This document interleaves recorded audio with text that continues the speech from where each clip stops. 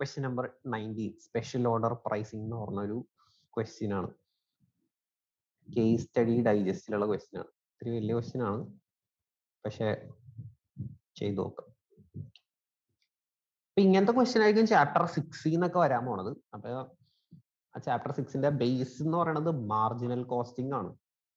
അതിൽ നിന്നാണ് തുടങ്ങിയേക്കുന്നത് അപ്പൊ അതുകൊണ്ട് തന്നെ എനിക്കിതിൽ ഭയങ്കരമായിട്ട് പഠിപ്പിക്കേണ്ട ആവശ്യമൊന്നുമില്ല. പക്ഷെ ചില കാര്യങ്ങളൊക്കെ നമുക്കൊന്ന് നോക്കാം ഡിസ്കസ് ഒക്കെ ചെയ്ത് നോക്കാം.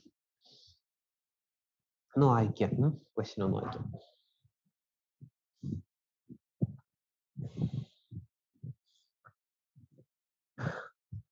സ്റ്റാർട്ട് ചെയ്യണം നമുക്ക്. അപ്പൊ നോക്കിയേ. Question number nineteen special order pricing ഇത് കേസ് സ്റ്റഡി ഡൈജസ്റ്റിലെ ക്വസ്റ്റ്യൻ നമ്പർ നയന്റീൻ ആണ്. Okay XEE Limited is a company which manufactures two types of material for engineering application. രണ്ട് ടൈപ്പ് മെറ്റീരിയൽ ആണ് നമ്മൾ ഉണ്ടാക്കുന്നത്. It makes these two types of material in two production line line one and line two line two has a different process and is easier in terms of getting this fixed at customer's end and has a longer life 1.5 times the life of line 1 product. അപ്പൊ നമ്മൾ എന്തോ engineering ആപ്ലിക്കേഷന് വേണ്ടിയിട്ടുള്ള material ആണ് ഉണ്ടാക്കുന്നത്. രണ്ട് ലൈനിൽ produce ചെയ്യുന്നുണ്ട്. ലൈൻ വണ്ണിലും ലൈൻ ടൂവിലും ചെറിയ പ്രോസസ്സിന്റെ ഡിഫറൻസ് ഉണ്ട്. ലൈൻ ടുവിന്റെ പ്രോസസ്സ് കുറച്ച് ഈസിയർ ആണ് in terms of getting this fixed at the customers end എന്നാണ് പറഞ്ഞേക്കുന്നത് എന്ന് വെച്ച് കഴിഞ്ഞാൽ കസ്റ്റമേഴ്സിന്റെ അവിടെ വെച്ചിട്ട് കസ്റ്റമേഴ്സിന്റെ പ്ലേസിൽ വെച്ചിട്ട് ഇതിന് ഇത് ഫിക്സ് ചെയ്യാനൊക്കെ എന്തോ എളുപ്പമാണ് ഇപ്പോഴത്തേനേലും ലൈൻ വണ്ണിനേലും കുറച്ച് എന്തോ ഈസിയർ ആണ് പ്രോസസ്സ് ഡീറ്റെയിൽസ് വരാത്തതുകൊണ്ട് നമുക്ക് അറിയില്ല എന്താണെന്ന്. മെറ്റീരിയൽ എന്താണെന്ന് അറിയാത്തതുകൊണ്ട് അതിനെക്കുറിച്ച് കൂടുതൽ അറിയില്ല ഒരു കാര്യം അറിയാം ലൈൻ ടു ലൈൻ ടുവിന്റെ പ്രൊഡക്റ്റിന് ലൈഫ് കൂടുതലുണ്ട്. Even though we are producing same product line ടൂവിൽ പ്രൊഡ്യൂസ് ചെയ്യുന്നതിന് ലൈഫ് കൂടുതലുണ്ട്. One point five times the life of line one product okay അത് ക്ലിയർ ആണ്. These are sold in kilogram കിലോഗ്രാമിലാണ് നമ്മുടെ units material ആണല്ലോ. Okay കിലോഗ്രാമിലാണ് line one has a capacity to produce six lakhs fifty thousand K G per annum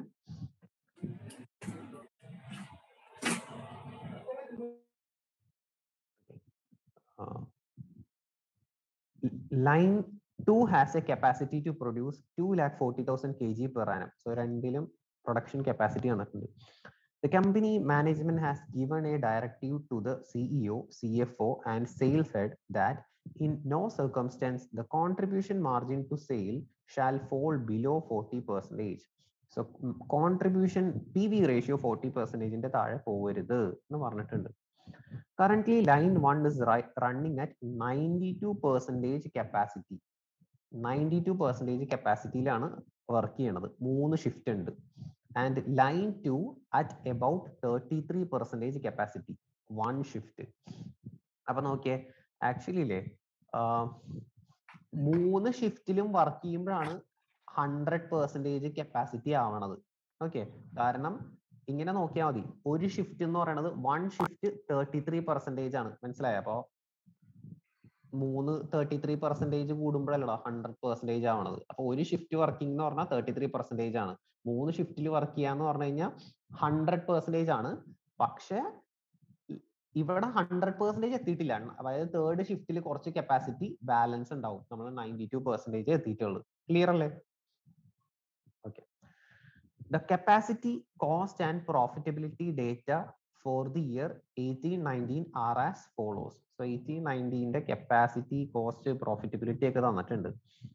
Particulars രണ്ട് ലൈനില്ലേ line one line two capacity six lakhs fifty and two lakh forty thousand production six ലാക്സും eighty തൗസൻഡും അപ്പോൾ നമുക്ക് വെറുതെ ഒന്ന് ഒന്ന് divide ചെയ്ത് നോക്കാം. Six lakhs അതായത് six divided by six point five ചെയ്താൽ നമുക്ക് ninety two point three percentage എന്ന് കിട്ടും. മനസ്സിലായോ? അതുകൊണ്ടാണ് ഇവർ പറഞ്ഞേക്കുന്നത് line one is operating at ninety two percentage capacity അതേപോലെ eight divided by twenty four ചെയ്ത് കഴിഞ്ഞാൽ thirty three point three three എന്ന് കിട്ടും. അപ്പോൾ അതാണ് ഇവർ പറഞ്ഞേക്കുന്നത് line two is operating at thirty three percentage capacity മനസ്സിലായോ? അപ്പൊ ഈ ലൈൻ ടൂവിൽ ഇനി രണ്ട് ഷിഫ്റ്റിനുള്ള പോസിബിലിറ്റി കൂടെ ഉണ്ട്.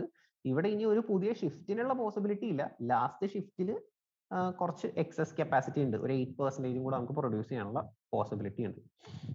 ഫിഫ്റ്റി തൗസൻഡ് യൂണിറ്റ്സ് ഇനി unit price and cost per K G is given so selling price തന്നിട്ടുണ്ട് വേരിയബിൾ കോസ്റ്റ് തന്നിട്ടുണ്ട് കോൺട്രിബ്യൂഷൻ തന്നിട്ടുണ്ട്. കോൺട്രിബ്യൂഷൻ ബൈ സെല്ലിംഗ് പ്രൈസ് ചെയ്ത് പെർസെന്റേജ് തന്നിട്ടുണ്ട് forty percentage so right now line one and line two is operating at a P V ratio of forty percentage in question it is given that uh, the company management has given directive to CEO, CFO, and the sales head that the contribution margin sh- shall not fall 40 below 40 percentage. ഇതിന്റെ താഴെ പോകരുത് in no circumstances it shall fall forty percentage എന്ന് പറയുന്നുണ്ട് അപ്പൊ ഇപ്പൊ forty percentage ആണ്. ഇനി sales variable cost contribution തന്നിട്ടുണ്ട്. അപ്പൊ ഇത് ടൈപ്പിംഗ് മിസ്റ്റേക്ക് ആണ്. സെയിൽസ് നമ്മൾ വെറുതെ മൾട്ടിപ്ലൈ ചെയ്ത് നോക്കിയാൽ മതി. Selling price into six lakhs ചെയ്ത് കഴിഞ്ഞാൽ ഈ ഫിഗർ വരും. അതേപോലെ eighty thousand into three one five ചെയ്ത ഈ ഫിഗർ വരും. അപ്പോൾ സെയിൽസ് ആണ്. Sales minus variable cost contribution overheads തന്നിട്ടുണ്ട് ഡിപ്രീസിയേഷൻ വന്നിട്ടുണ്ട് profit right now profit percentages fifteen ഇതൊക്കെ ക്ലിയർ അല്ലേടാ? ഓക്കെ ശരി. ഇനി നമുക്ക് സിനാരിയോ നോക്കാം. ഓരോ സിനാരിയോ അതിലുള്ള ക്വസ്റ്റ്യൻസ് ഒക്കെ ഉണ്ട്. So scenario one at a meeting of CEO sales head and C F O the sales head informs the team that there is a potential of one time one time order from a large customer who can commit on delivery schedules for for the whole of twenty nineteen and twenty two thousand twenty at a price of two fifty per K G കൂടെ വായിക്കാം. അപ്പോൾ എന്താ പറഞ്ഞത്? Sales head പറഞ്ഞു there is a potential of one time order എത്ര യൂണിറ്റ്സിന്റെ order ആണ്? Eighty thousand K G of line two product okay ഇതിന്റെയാണ് order കേട്ടോ. Eighty thousand K G of line two product ഇതിന്റെ ഒരു ഓർഡർ വന്നിട്ടുണ്ട്. ഒരു ലാർജ് കസ്റ്റമറിന്റെ അടുത്തുനിന്ന്. Who can commit on delivery schedules for the whole of 2019 at a price of 250 per kg. അപ്പോൾ ഇയാൾ twenty നയന്റീനിൽ ഇത്രയും quantity എടുത്തോളും. പല സമയത്തൊക്കെ ആയിട്ടായിരിക്കും അവർ എടുക്കുന്നത് പക്ഷെ അയാൾ പ്രൈസ് കമ്മിറ്റ് ചെയ്തിട്ടുണ്ട് two fifty per K G ഒരു വൺ ടൈം ഓർഡർ വന്നിട്ടുണ്ട്. കേട്ടോ വൺ ടൈം ഓർഡർ ഈ വൺ ടൈം ഓർഡർ എന്നൊക്കെ കാണുമ്പോഴാണ് നമ്മൾ മനസ്സിലാക്കേണ്ടത്. This is a question special order special order one time order ഇതൊക്കെയാണ് നമ്മളുടെ റെലവെന്റ് കോസ്റ്റിംഗ് ചാപ്റ്ററിന്റെ റെലവെന്റ് കോസ്റ്റിംഗ് ഡിസിഷൻ മേക്കിംഗ് ചാപ്റ്ററിൽ റെലവെന്റ് കോസ്റ്റിംഗ് എന്ന് പറഞ്ഞ ഒരു കൺസെപ്റ്റ് ഉണ്ട്. അതിനെ ബേസ് ചെയ്ത് നമ്മൾ ആൻസർ ചെയ്യേണ്ടത് ഇങ്ങനെയൊക്കെയാണ്. മനസ്സിലായോ? അപ്പൊ കണ്ടിന്യൂസ് ആയിട്ടുള്ള ഒരു ഓർഡർ ആണെങ്കിൽ അതിന്റെ പ്രൈസിങ് ഡിസിഷൻ എടുക്കുന്നത് നമ്മൾ ഡിസിഷൻ ആ ചാപ്റ്ററിനെ ബേസ് ചെയ്തല്ലേ? നമ്മൾ പ്രൈസിംഗ് എന്ന് പറഞ്ഞ ചാപ്റ്റർ പഠിച്ചില്ലേ ആ പ്രൈസിങ് തിയറി ഒക്കെ ബേസ് ചെയ്തായിരിക്കും നമ്മൾ ഡിസിഷൻ എടുക്കുന്നത്. വേറെ one time order special order എന്നൊക്കെയുള്ള വേർഡ് കണ്ടു കഴിഞ്ഞാൽ ഇറ്റ് മീൻസ് അത് പ്രൈസിങ് ഡെസിഷനെ ബേസ് ചെയ്ത് പ്രൈസിങ് ഡെസിഷനിലുള്ള ആ പറഞ്ഞ പോലെ ഇത് സ്കിമ്മിങ് വേണോ പെനിട്രേഷൻ വേണോ അങ്ങനത്തെ ഡെസിഷൻ അല്ല. This is just a one time order so basically നമ്മൾ കോസ്റ്റ് പ്ലസ് എന്തെങ്കിലും ഒരു മാർജിൻ ഒക്കെ ഉണ്ടെങ്കിൽ അത് അങ്ങനെയൊക്കെ ആയിരിക്കും ഡെസിഷൻ എടുക്കുന്നത് ഓക്കെ കോസ്റ്റിനെ base ചെയ്തായിരിക്കും. The sales head also informs that new customer is aware of the price of the product from line 1 so he is aware of the price of the product from line 1 ഒരു minute line വണ്ണിലും line ടൂവിലും price difference ഉണ്ടോ price difference ഉണ്ട്. Line one പ്രൊഡക്റ്റിന് one eighty റുപ്പീസേ ഉള്ളു. Line two പ്രൊഡക്റ്റിന് three fifteen rupees ഉണ്ട്. എന്തുകൊണ്ടായിരിക്കും ഈ പ്രൈസ് ഡിഫറൻസ് അത് എന്തുകൊണ്ടായിരിക്കും കസ്റ്റമേഴ്സ് അക്സെപ്റ്റ് ചെയ്യണത്? ലൈഫിലുള്ള വ്യത്യാസം ലൈഫിലുള്ള വ്യത്യാസമുണ്ട്. Line the life of line two product is one point five times that of line one. ക്വസ്റ്റനിൽ പറയണില്ലേ? കേട്ടോ. അപ്പൊ അപ്പം ലൈഫ് കൂടുതലുള്ളതുകൊണ്ട് ആയിരിക്കും പ്രൈസ് കൂടുതൽ ഇട്ടേക്കുന്നത്. ഒബിയസ്ലി അതിന് കോസ്റ്റും കൂടുതലാണ്. നമ്മുടെ വേരിയബിൾ കോസ്റ്റും കുറച്ച് കൂടുതലാണ്. ഓക്കെ. അപ്പോൾ സെയിൽസ് ഹെഡ് പറഞ്ഞു ന്യൂ കസ്റ്റമറിന് he's aware of the price of the product from line one. Line one price അയാൾക്ക് അറിയാം. എന്നിട്ടും അയാൾ ലൈൻ ടു പ്രൊഡക്റ്റ് ആണ് അയാൾ എടുക്കാൻ പോകുന്നത്. എത്ര രൂപയ്ക്ക്? അയാൾ ടു ഫിഫ്റ്റിക്കാണ് അയാൾ കണക്ട് ചെയ്തേക്കുന്നത് line two line one price ശരിക്കും പറഞ്ഞാൽ എത്രയേ ഉള്ളൂ? വൺ എയ്റ്റി റുപ്പീസേ ഉള്ളൂ. But he has committed two fifty but he is asking for line two product ശരി.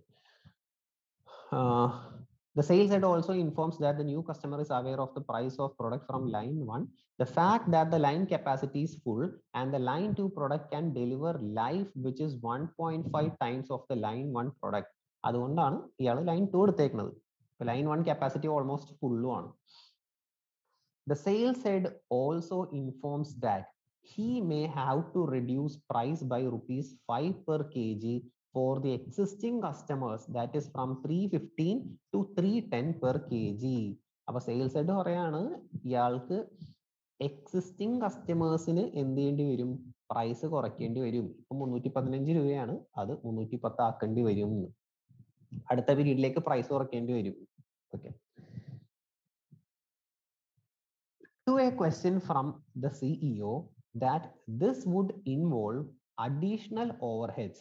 The CFO checks on his laptop and informs that for an additional shift of operation of line 2, the incremental overhead would be 6.2 lakhs per annum per shift.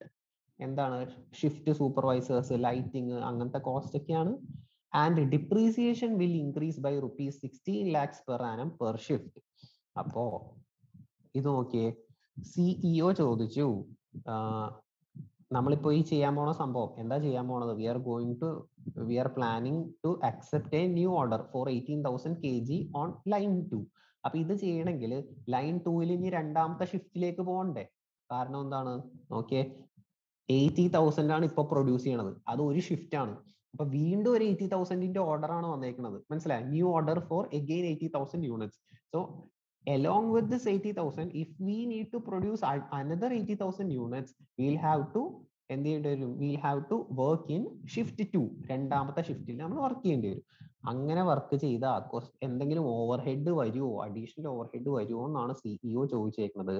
അപ്പൊ C C F O അയാളുടെ laptop ഒക്കെ നോക്കിയിട്ട് അയാൾ പറഞ്ഞു for an additional shift of operation of line two എന്ത് പറ്റും? Incremental head വരും six point two lakhs per annum per shift and depreciation will also increase by sixteen lakhs So basically 6.2 plus 16 lakhs, there will be an additional cost of 22.20 lakhs. ഇത്രയും രൂപ cost വരും. ശരി. ഇത്ര നേരമായിട്ട് നമ്മൾ എന്താ ചെയ്യേണ്ടതെന്നൊന്നും പറഞ്ഞിട്ടില്ല കേട്ടോ നമ്മൾ വെറുതെ ഡാറ്റ ഒക്കെ വായിക്കണമെന്നാണ് The CEO poses the following questions to both CFO and uh, pose, poses the following question to CFO and sales head. അപ്പൊ CEO രണ്ട് മൂന്ന് questions ചോദിക്കുകയാണ് എന്തൊക്കെയാണ് first one given that the order is one type, what will happen to the fixed overhead committed in 2019 and the loss of profit due to reduction in uh, price to existing customers which cannot be increased in the subsequent years? അപ്പോൾ question ചോദിക്കണം ആദ്യത്തെ question ആണ് order one time അല്ലേ what will happen to the fixed overhead committed in twenty nineteen അതായത് ഇപ്പൊ ഒരു order one time ആണ്. പക്ഷെ ഫിക്സഡ് ഓവർ ഹെഡ് ഇൻക്രീസ് ചെയ്യും എന്ന് പറഞ്ഞില്ലേ? അതിന് എന്ത് സംഭവിക്കും എന്നാണ് ചോദിച്ചേക്കുന്നത് അതായത് ജസ്റ്റ് ഒന്ന് ആലോചിച്ച് നോക്കിയാൽ ഈ പുതിയ എയ്റ്റി തൗസൻഡ് കിട്ടാൻ വേണ്ടി നമ്മൾ പുതിയ സെക്കൻഡ് ഷിഫ്റ്റിന് വേണ്ടിയിട്ടുള്ള എല്ലാ കാര്യങ്ങളും അവിടെ ഒരുക്കി. അപ്പൊ അതിനുവേണ്ടി നമ്മുടെ ഫിക്സഡ് കോസ്റ്റ് കൂടി. നമ്മൾ ഈ ഓർഡർ സപ്ലൈ ചെയ്തു. ആ ഓർഡർ കഴിഞ്ഞ് വൺ ടൈം ഓർഡർ ആണ്. അത് കഴിഞ്ഞ്. പക്ഷെ നമ്മുടെ ഈ ഫിക്സഡ് കോസ്റ്റ് വീണ്ടും കുറയോ എന്നൊക്കെയാണ് ഇയാൾ ചോദിച്ചേക്കുന്നത്. മനസ്സിലായോ? സംഭവം മനസ്സിലായടാ? കുറച്ച് കുട്ടികൾ വന്നിട്ട് എന്നോട് ഒരു കോസ്റ്റിംഗ് ക്രാഷ് എടുക്കുമോ എന്ന് ചോദിച്ചു. ഞാൻ പുതിയ ബിൽഡിംഗ് ഒക്കെ റെന്റിന് എടുത്ത്. ക്രാഷ് കഴിഞ്ഞ് അവർ പോയി. റെന്റ് ഞാൻ കൊടുത്തോണ്ടിരിക്കേണ്ടി വരൂലേ? അതുപോലത്തെ സംഭവം. ഓക്കെ അപ്പോ ഓർഡർ വൺ ടൈം ആണെങ്കിലും ഫിക്സഡ് ഓവർ ഹെഡിന് എന്ത് പറ്റും? ഫിക്സഡ് ഓവർ ഹെഡ് കമ്മിറ്റഡ് ആണ്. കമ്മിറ്റഡ് കോസ്റ്റ് എന്ന് പറഞ്ഞാൽ എന്താന്ന് ഞാൻ നോട്ടായിട്ട് എഴുതിപ്പിക്കാം. കമ്മിറ്റഡ് കോസ്റ്റ് എന്ന് പറഞ്ഞാൽ cost that needs to be incurred in future period as a result of the actions taken now അല്ലെങ്കിൽ as a result of the decision current decision നമ്മൾ ഇപ്പോൾ ഓൾറെഡി എടുത്തൊരു ഡിസിഷൻ കാരണം കൊണ്ട് ഇനി ഫ്യൂച്ചറിൽ ഇൻകർ ചെയ്യാൻ വേണ്ടി വരുന്ന കോസ്റ്റിനെയാണ് കമ്മിറ്റഡ് കോസ്റ്റ് എന്ന് പറയുന്നത് കേട്ടോ? ശരി. അപ്പോ സി എഫ് ഒ ചോദിക്ക സിഇഒ ചോദിക്കാണ് ഇങ്ങനെ കമ്മിറ്റഡ് കോസ്റ്റ് വരില്ലേ? അതേപോലെ what about the loss of profit due to reduction in price to existing customer which cannot be increased in subsequent years അപ്പൊ നോക്കിയേ ഈ ഒരു ഓർഡർ കാരണം കൊണ്ട് ചിലപ്പോൾ ഈ ഓർഡർ ബാക്കിയുള്ളവർ അറിയണത് കൊണ്ടായിരിക്കും എന്ത് ചെയ്യേണ്ടി വരും? എക്സിസ്റ്റിംഗ് കസ്റ്റമേഴ്സിനും ഈ ഒരു ഓർഡർ മീറ്റ് ചെയ്യാൻ വേണ്ടി എക്സിസ്റ്റിംഗ് കസ്റ്റമേഴ്സിന് നമ്മളൊരു ചെറിയ പ്രൈസ് റിഡക്ഷൻ കൊടുക്കേണ്ടി വരുന്നുണ്ട്. ത്രീ ഫിഫ്റ്റി എന്നുള്ളത് ത്രീ ടെൻ ആക്കി. They may have to reduce price by five per K G for existing customers okay അത് ആ അതിന്റെ ഒരു ലോസ് ഓഫ് പ്രോഫിറ്റ് ഇല്ലേ? ആ ലോസ് ഓഫ് പ്രോഫിറ്റിന് എന്ത് പറ്റും? What about the loss of profit due to reduction in price to existing customer which cannot be increased in the subsequent years ഇനി അടുത്ത വർഷം പിന്നെയും പോയി പ്രൈസ് കൂട്ടാനൊന്നും പറ്റത്തില്ല. അപ്പൊ അതെന്ത് സംഭവിക്കും? ശരി. The CEO is also concerned about the reduction in contribution percentage from the management's stipulated 40 percentage. അപ്പൊ സിഇഒന് ഒരു പേടിയും കൂടെ ഉണ്ട്. പ്രൈസ് കുറയ്ക്ക നമ്മൾ പ്രൈസ് കുറയ്ക്കുന്നുണ്ട്. ഒന്ന് ത്രീ ഫിഫ്റ്റി എന്നുള്ളത് ത്രീ ടെൻ ആയി. എക്സിസ്റ്റിംഗ് കസ്റ്റമേഴ്സിന്റെ പ്രൈസ് കുറച്ചു. മാത്രമല്ല പുതിയ ഓർഡറിന് നമ്മൾ ഇയാൾ ചോദിച്ചേക്കുന്നത് ടു ഫിഫ്റ്റി റുപ്പീസിന് സപ്ലൈ ചെയ്യാനാണ്. So which means there will be an impact on contribution forty പെർസെന്റേജിലെല്ലാം കുറഞ്ഞു പോവും. അതെന്ത് ചെയ്യും? To address the issue, CEO asked both CFO and sales head to come up with an acceptable pricing for line 2. Line 2 ന്റെ ഒരു acceptable pricing നമ്മൾ കണ്ടുപിടിക്കണം. To the new one time customer പുതിയ one time കസ്റ്റമറിന് ഉള്ള ഒരു acceptable pricing നമ്മളോട് കണ്ടുപിടിക്കാൻ പറഞ്ഞേക്കാണ്. He indicates to them that the price should be such that percentage of sales to profit achieved in eighteen nineteen is maintained ആ okay. അപ്പോൾ this is important നമ്മളോട് പറഞ്ഞത് എന്താണ്? Price should be such that percentage to sales percentage of sales to profit achieved in twenty eighteen to nineteen is maintained അങ്ങനെ price കണ്ടുപിടിക്കണം. അതായത് contribution പോണെങ്കിൽ പോയിക്കോട്ടെ. പക്ഷേ even after accepting the new order the profit percentage should continue ഈ percentage continue ചെയ്യണം. ആ രീതിയിൽ ഒരു പ്രൈസ് കണ്ടുപിടിക്കൂ എന്ന് നമ്മളോട് പറഞ്ഞു. സി എഫ് ഒനോട് പറഞ്ഞു. ഓക്കെ ഇനി third third point further the CEO mention that new customer should also be convinced of the price to be quoted okay നിങ്ങളൊരു പ്രൈസ് കണ്ടുപിടിക്കുമല്ലോ ആ പ്രൈസ് ന്യൂ കസ്റ്റമറിനെ നിങ്ങൾ തന്നെ കൺവിൻസ് ചെയ്യിപ്പിക്കണം. He also mentioned that the sales from line 1 for 1920 will be at the same level 6 lakhs kg. Line വണ്ണിൽ വ്യത്യാസമൊന്നുമില്ല. Same പ്രൈസും ആണ്. There are no changes in cost variable and fixed കോസ്റ്റിലൊന്നും change ഇല്ല. എന്നൊക്കെ പറഞ്ഞു. കോസ്റ്റിൽ ചേഞ്ച് ഇല്ല യൂണിറ്റ്സിൽ ചേഞ്ച് ഇല്ല. പക്ഷെ നിങ്ങൾ പുതിയ പ്രൈസ് കണ്ടുപിടിക്കണം. The price should be in such a way that the same percentage fifteen percentage of profit percentage should be maintain നിങ്ങൾ കണ്ടുപിടിക്കുന്ന പ്രൈസ് നിങ്ങൾ തന്നെ പുതിയ കസ്റ്റമറിനെ convince ചെയ്യിക്കണം. Required you are the deputy to the C F O you are requested to come up with recommendations on അപ്പൊ നമ്മൾ recommendations ആണ് എഴുതേണ്ടത്. സോ റെക്കമെൻഡേഷൻ ചെയ്യാൻ പറഞ്ഞാൽ എപ്പോഴും നമ്മൾ പോയിന്റ് ബൈ പോയിന്റ് അഡ്വൈസ് എന്നൊക്കെ പറയുന്ന സെയിം പോലെ തന്നെ എഴുതണം. Answer first question ideal price to be quoted for the new customer പുതിയ കസ്റ്റമറിന് നമ്മൾ കോട്ട് ചെയ്യേണ്ട പ്രൈസ് എത്രയാണ്? Ideal price with reasons to be proposed by sales head to the new customer to convince him to accept the price so quoted അപ്പോൾ നിങ്ങൾ price മാത്രം കണ്ടുപിടിച്ചാൽ പോരാ. നിങ്ങൾ തന്നെ റീസൺസ് കൊടുക്കണം. സോ ദാറ്റ് ആ റീസൺസ് സെയിൽസ് ഹെഡ് പുതിയ കസ്റ്റമറിന്റെ അടുത്ത് പറഞ്ഞോളും. To convince him to accept the price quoted എന്നാണ് പറഞ്ഞേക്കുന്നത് ഓക്കെ നിങ്ങളൊരു പ്രൈസ് കണ്ടുപിടിക്കുക. എന്നിട്ട് അത് എന്തുകൊണ്ട് നമ്മൾ കസ്റ്റമറിനെ കൺവിൻസ് ചെയ്യിക്കണം? ഓക്കെ ഇത് നല്ല പ്രൈസ് ആണ്. സൂപ്പറാണ് എടുത്തോന്ന് അയാളോട് പറയാൻ പറ്റണം. ഇങ്ങനെ പറയും. അതിനുള്ള റീസണും കൂടി കൊടുക്കണം. ഓക്കെ അപ്പോ ബാക്കി നമുക്ക് ഇത് കഴിഞ്ഞിട്ട് നോക്കാം. എല്ലാം കൂടി നോക്കി വെച്ചിട്ട് കാര്യമില്ലല്ലോ. അപ്പൊ നോക്കിയാലോ എങ്ങനെ കണ്ടുപിടിക്കാൻ വേണം പ്രൈസ് എങ്ങനെ കണ്ടുപിടിക്കാൻ വേണം എന്ന് പറ. ബാക്കി റീസൺ ഒക്കെ പിന്നെ രണ്ടാമത്തെ കാര്യമല്ലേ ആദ്യം പ്രൈസ് കണ്ടുപിടിക്കണം. എങ്ങനെ കണ്ടുപിടിക്കും?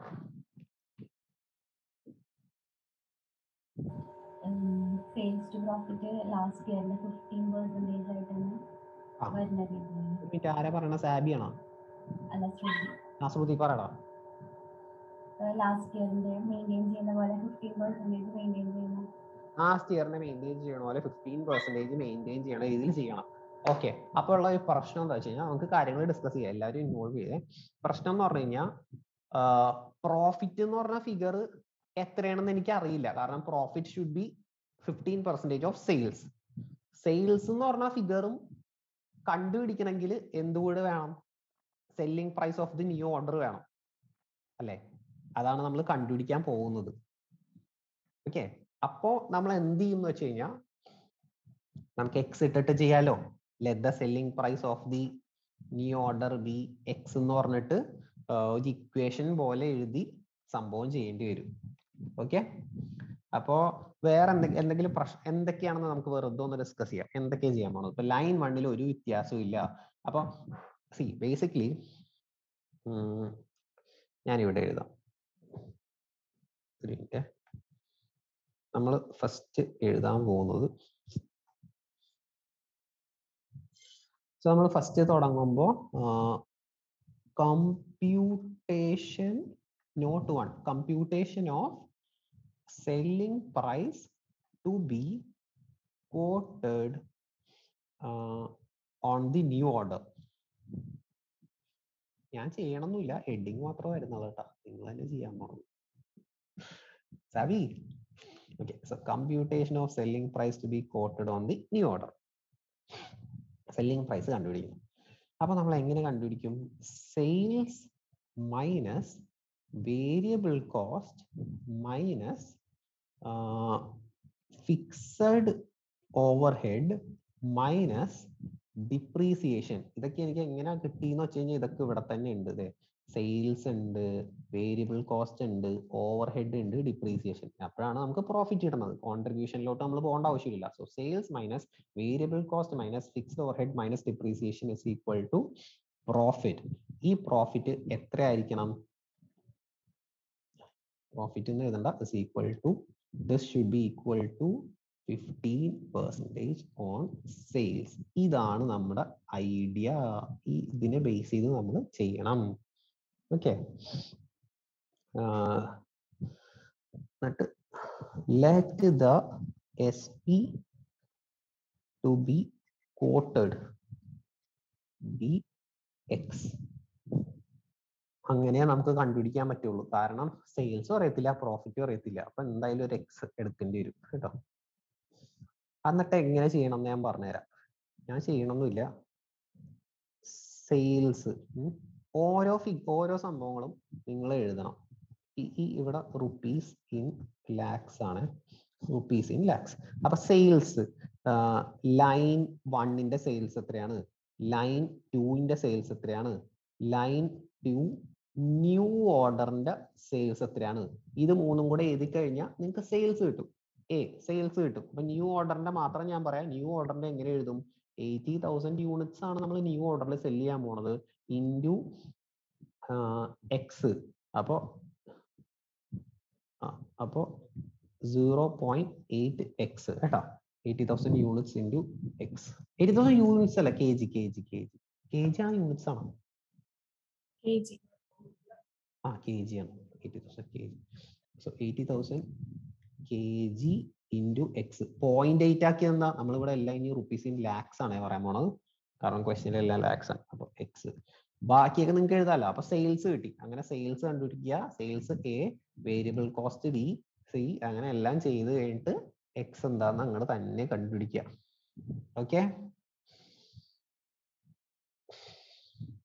ഓക്കെ അപ്പൊ ചെയ്തോ?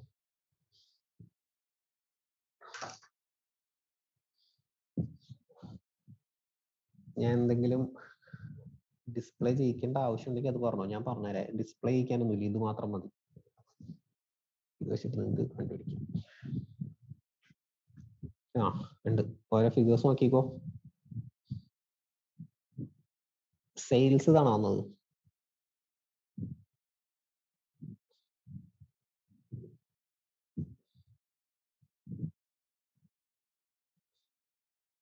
ഇതിൽ എന്തെങ്കിലും ഡീറ്റെയിൽസിലോട്ടൊക്കെ പോകണമെങ്കിൽ എന്റെ അടുത്ത് പറഞ്ഞാൽ മതി. ഞാൻ ചിലപ്പോൾ അത്ര ഡീറ്റെയിൽ ആയിട്ടൊന്നും എഴുതുന്നില്ല ചെയ്ത് നോക്കിയ ചെയ്ത് നോക്കിയപ്പോൾ എടുത്തതാണത് സാബി സെയിൽ ഓക്കെ ആണോ? വേരിയബിൾ കോസ്റ്റ് ഓക്കെ ആണോ അത്? വേരിയബിൾ കോസ്റ്റ് ഇത് ലൈൻ വൺ ഇത് ലൈൻ ടു സെയിം തന്നെയല്ലേ. ഒരു പ്രാവശ്യം കൂടി എടുക്കുള്ളൂ. ബിക്കോസ് രണ്ട് എയ്റ്റി തൗസൻഡിന്റെ ആണ് വേരിയബിൾ കോസ്റ്റ്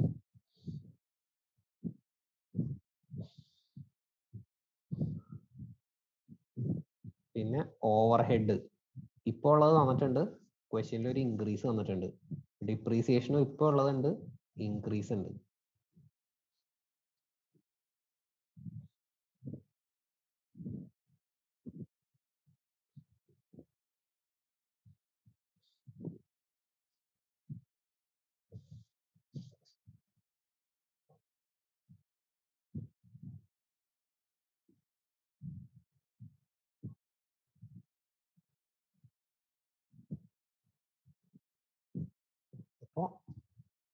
പ്രോഫിറ്റ് എന്ന് പറയണത് നമുക്ക് കിട്ടിയ സെയിൽസ് ഫിഗർ ഇല്ലേ? അതിന്റെ ഫിഫ്റ്റീൻ പെർസെന്റേജ് എടുത്തേക്കാണത്. ഓക്കെ നമുക്ക് ഇവിടെ ഒരു സെയിൽസ് ഫിഗർ ഉണ്ടായി. One three two eight plus point eight X അതിനെ ഇന്റു പോയിന്റ് വൺ ഫൈവ് ചെയ്താണ് പ്രോഫിറ്റ് ആയിട്ട് വരേണ്ടത്. പിന്നെ നമ്മൾ അത് സബ്സ്റ്റിറ്റ്യൂട്ട് ചെയ്താൽ മതി. ഞാൻ നേരത്തെ ആദ്യം എഴുതിയ ഫോമിലില്ലേ sales minus variable cost minus overhead minus depreciation is equal to profit അത് സോൾവ് ചെയ്ത് കഴിഞ്ഞാൽ എക്സ് കിട്ടും.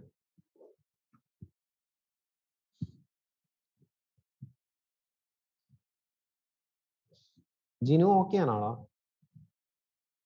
ആ ഓക്കെ ഉണ്ട് എമൗണ്ട് എടുത്ത് മാറിപ്പോയത്. ആ എമൗണ്ട് എടുത്ത് മറക്കരുത്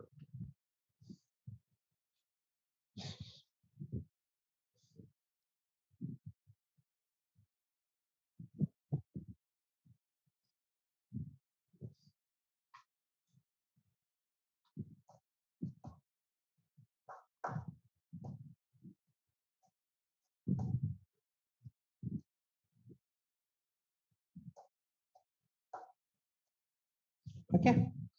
സബി കഴിഞ്ഞോ ഓക്കെ. അപ്പൊ നമുക്ക് ഇതിന്റെ ഫസ്റ്റ് പാർട്ട് പറഞ്ഞു. ഐഡിയൽ ഇതിന്റെ താഴെ എഴുതിക്കോ. Ideal price to be quoted for the new customer will be rupees two sixty per K G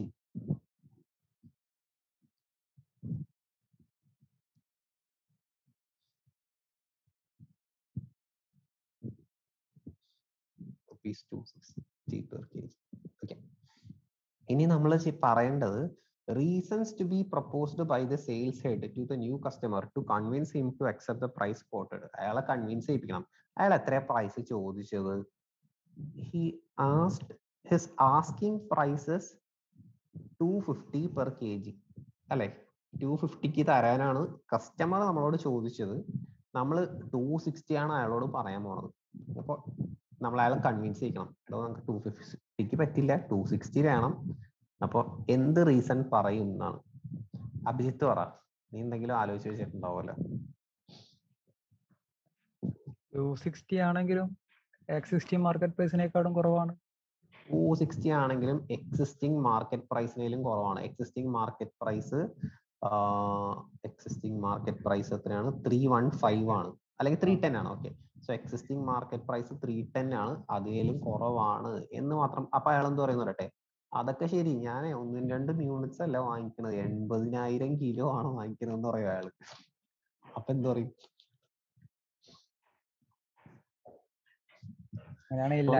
പ്രൊഡക്റ്റിന്റെ ആ പറ. പ്രൈസിന്റെ വൺ പോയിന്റ് ഫൈവ് ടൈംസിനേക്കാളും കുറവാണെന്ന് പറയും. ആ അതാണ് പറയാം. അതാണ് അതൊരു റീസൺ ആയിട്ട് നമുക്ക് പറയാം. അതായത് ആക്ച്വലി നമുക്ക് പറയാം ലൈൻ നമുക്ക് വേണമെങ്കിൽ അയാളോട് അത് പറയാം. അതായത് ലൈൻ വൺ പ്രൊഡക്റ്റ് ആണെങ്കിൽ നിങ്ങൾക്ക് വൺ എയ്റ്റി റുപ്പീസിന് തരാം. അപ്പോൾ ലൈൻ ടു പ്രൊഡക്റ്റ് എന്ന് പറയുന്നത് അയാൾ അത് ഇവർ പറയുകയും ചെയ്തല്ലോ. അതുകൊണ്ടാണ് കേട്ടോ കാരണം ഇവിടെ പറയുന്നുണ്ട് the customer is the sales ഇത് ഇതാണ് area the sales head also inform that the new customer is aware of the price of the product from line 1 uh, അയാൾക്ക് അറിയാം this is one point five times of line one product എന്ന് അയാൾക്ക് അറിയുകയും ചെയ്യാം life അത്ര ഉണ്ടെന്ന്. അപ്പൊ ഇതിനെ ബേസ് ചെയ്താണ് നമ്മൾ പറയണത്. സോ ലൈൻ വണ്ണിന്റെ പ്രൈസ് എന്ന് പറയുന്നത് വൺ എയ്റ്റി ആണ്. Into one point five times ചെയ്ത് കഴിഞ്ഞാൽ actually the price be paid for minimum price to be paid for line two products will be two seventy ഇരുന്നൂറ്റി എഴുപതെങ്കിലും പേ ചെയ്യണം. അതിനേക്കാളും ഒരു നല്ല ഡീലാണ് നമ്മൾ പ്രൊവൈഡ് ചെയ്യുന്നത്. ടു സിക്സ്റ്റിക്ക് നമ്മൾ നമുക്ക് ചെയ്യാൻ പറ്റും എന്നാണ് നമ്മൾ പറയണത്. Reason to convince the new customer okay ഞാൻ എഴുതി വെച്ചിട്ടുണ്ട്. നിങ്ങൾക്ക് കോപ്പി ചെയ്ത് എഴുതണമെന്നുണ്ടെങ്കിൽ അത് എഴുതിക്കോ. Answer number one ideal price to be quoted with reasons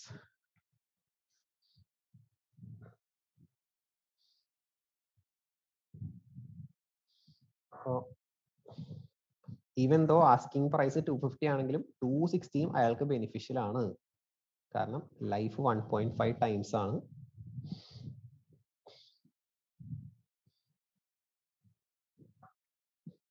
എഴുതിയടാ. ശരി. അപ്പൊ അത് കഴിഞ്ഞു. Second question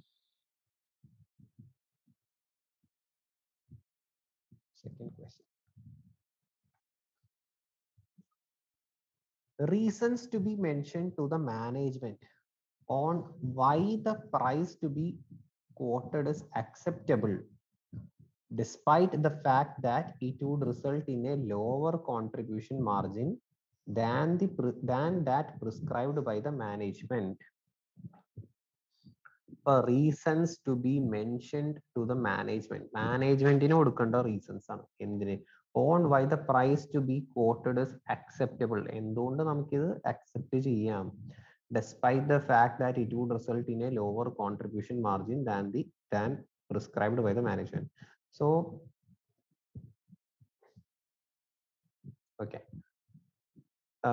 management prescribe ചെയ്ത മാർജിൻ എത്രയാണ് മാർജിൻ പ്രിസ്ക്രൈബ്ഡ് കോൺട്രിബ്യൂഷൻ മാർജിൻ ആണ്. Prescribed by the management forty percentage ആണ്. ഓക്കെ ഇപ്പൊ നമ്മൾ revised margin from line two on revised margin from line two വേണം നമുക്ക്. ലൈൻ വണ്ണിലെ മാർജിനിൽ വ്യത്യാസം വരുന്നുണ്ടോ? ലൈൻ വണ്ണിൽ വ്യത്യാസം വരുന്നില്ല. ലൈൻ ടുവിന്റെ റിവൈസ്ഡ് മാർജിൻ വേണം. ഓക്കെ അപ്പോ സെയിൽസ് ആ സെയിൽസ് ഫിഗർ എത്രയാണെന്ന് പറയോളോ ലൈൻ ടുവിൽ ലൈൻ ടൂവിൽ ഓൾറെഡി ഒരു സെയിൽസ് ഫിഗർ നമുക്ക് അറിയാം. രണ്ടാമത്തെ നമ്മളിപ്പോ കണ്ടുപിടിച്ചു ടു സിക്സ്റ്റി വെച്ചിട്ട്. എത്ര വരും പറഞ്ഞു? ടോട്ടൽ ഫോർ ഫൈവ് സിക്സ് ആ. ഫോർ ഫൈവ് സിക്സ് ഓക്കെ ഇതും റുപ്പീസ് ഇൻ ലാക്സ് ആണ്. സെയിൽസ് വേരിയബിൾ കോസ്റ്റ് നമ്മൾ one fifty one point two എന്തോ ആയിരുന്നില്ലേ? അത് into one fifty one point one fifty എത്രയാ? Plus one fifty one point two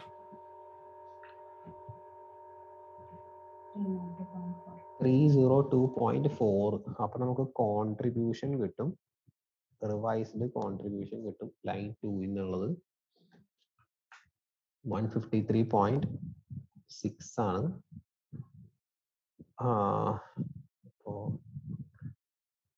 revised contribution margin എത്ര percentage ആണ്?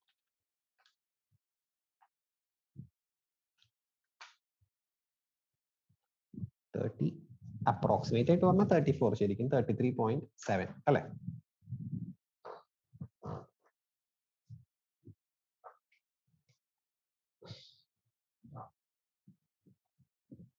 Okay അല്ലേ അത്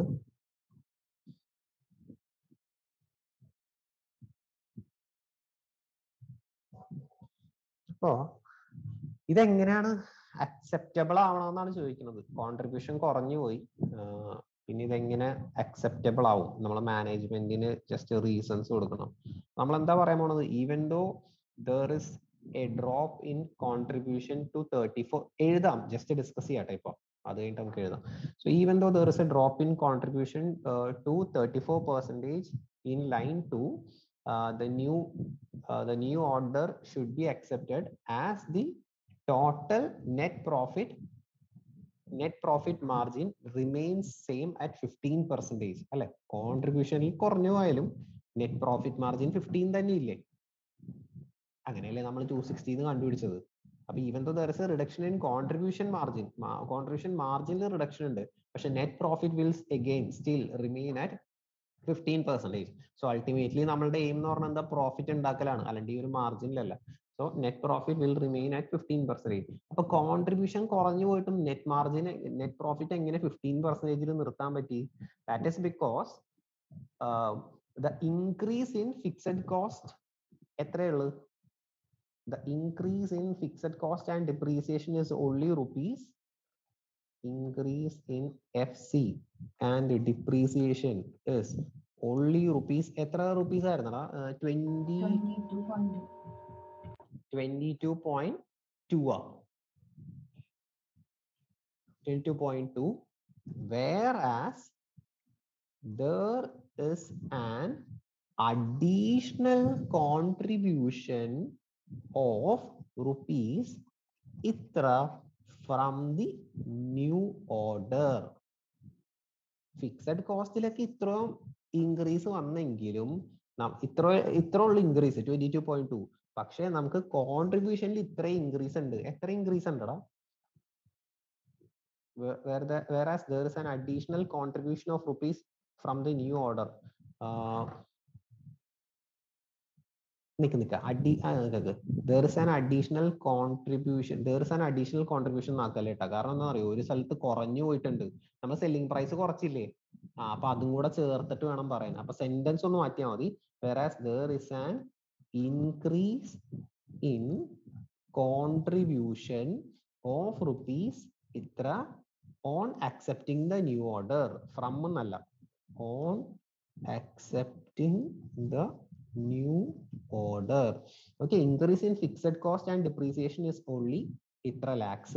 Whereas there is an increase of increase in contribution of rupees itrem on accepting the new order. New order accept ചെയ്തപ്പോ കോൺട്രിബ്യൂഷനിൽ എത്രയാണ് വ്യത്യാസം വന്നേക്കണം?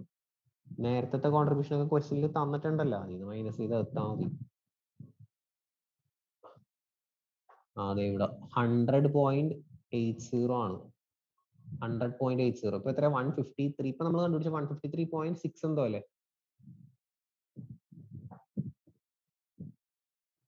അല്ലേ? നമ്മൾ കണ്ടുപിടിച്ചില്ലല്ലോ one fifty three point six ആ അപ്പൊ എത്ര രൂപയുടെ ഡിഫറൻസ് ഉണ്ടെന്ന് വെച്ചാൽ അത് പറഞ്ഞാൽ മതി. എത്രയാ? ഫിഫ്റ്റി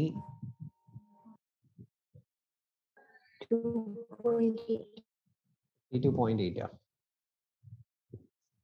ആണോ? എത്ര വെച്ചാൽ എഴുതിക്കോട്ടെ? എനിക്ക് കേൾക്കാൻ പറ്റിയില്ല. അപ്പൊ നമുക്ക് ഇതാ നമ്മൾ പറയാൻ പോണത്. നമ്മൾ ആൻസർ ആയിട്ട് എഴുതാൻ പോണത് കോൺട്രിബ്യൂഷൻ മാർജിൻ ഫെയർ ആയിട്ട് എഴുതി വെച്ചിട്ടുണ്ടാവും. ഒത്തിരി വ്യത്യാസമൊക്കെ ഉണ്ടാവും. പക്ഷെ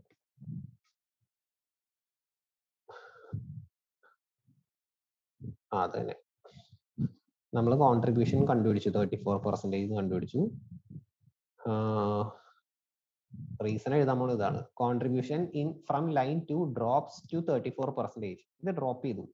ഡെസ്പൈറ്റ് ദിസ് ഡ്രോപ്പ് ഇത് ഡ്രോപ്പ് കോൺട്രിബ്യൂഷൻ ഡ്രോപ്പ് ചെയ്താലും profit still maintained at fifteen percentage എന്തുകൊണ്ടാണ്?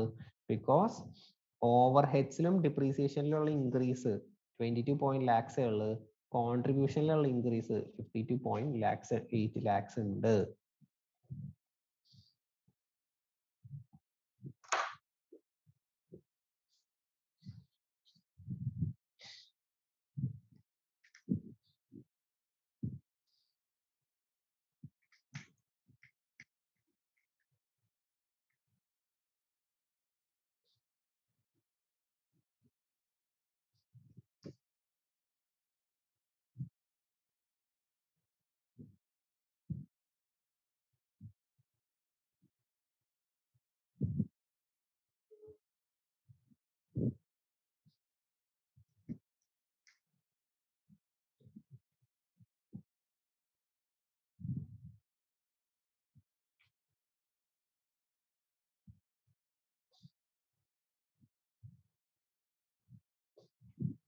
Increase in contribution increase in fixed കോസ്റ്റിനേലും കൂടുതലാണ്.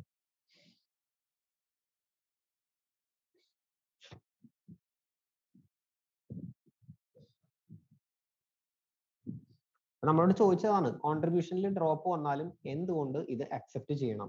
കോൺട്രിബ്യൂഷനിൽ ഡ്രോപ്പ് വന്നാലും പ്രോഫിറ്റ് സെയിം ആയിട്ടിരിക്കും ഈ പ്രൈസിൽ കൊടുത്തു കഴിഞ്ഞാൽ അതുകൊണ്ട് ഇത് അക്സെപ്റ്റ് ചെയ്യണം. എങ്ങനെ സെയിം ആയിട്ടിരിക്കും?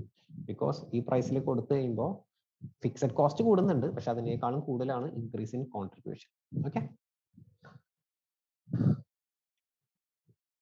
തന്നെയാണ് നമ്മൾ ഇവിടെ പറഞ്ഞത്. Increase in fixed cost and depreciation is only this much whereas increase in contribution is 52.8 lakhs.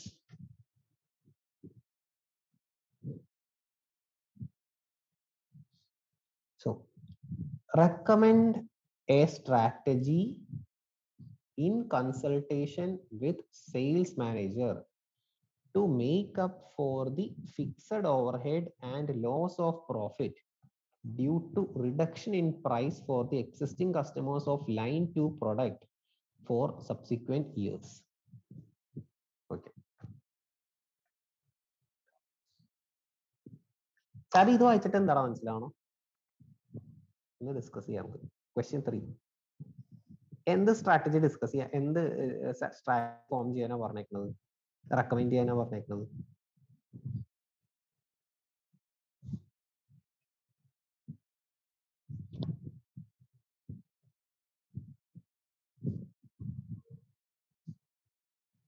കുഴപ്പമില്ല. ആരെങ്കിലും പറഞ്ഞാൽ മതി. എന്നാ ശ്രുതി പറയടാ. ആരെങ്കിലും പറഞ്ഞോട്ടോ. സാബി പറഞ്ഞെങ്കിൽ പറയാം. അബ്ദുൽ പറയാം. പിന്നെ ആൾ തോന്നുന്നു റെക്കമെൻഡ് സ്ട്രാറ്റജി പറ ശ്രുതി. ഫിക്സ്ഡ് ഓവർഹെഡും ഉണ്ടാവണ. ലോസ് എന്നാണ് ഈ പറഞ്ഞോ? ഓക്കെ ഫിക്സഡ് ഓവർ ഹെഡ് കൂടി പ്രോഫിറ്റ് കുറയും. സെല്ലിംഗ് പ്രൈസ് കുറഞ്ഞുകൊണ്ട്. ഓക്കെ ആ ലോസ്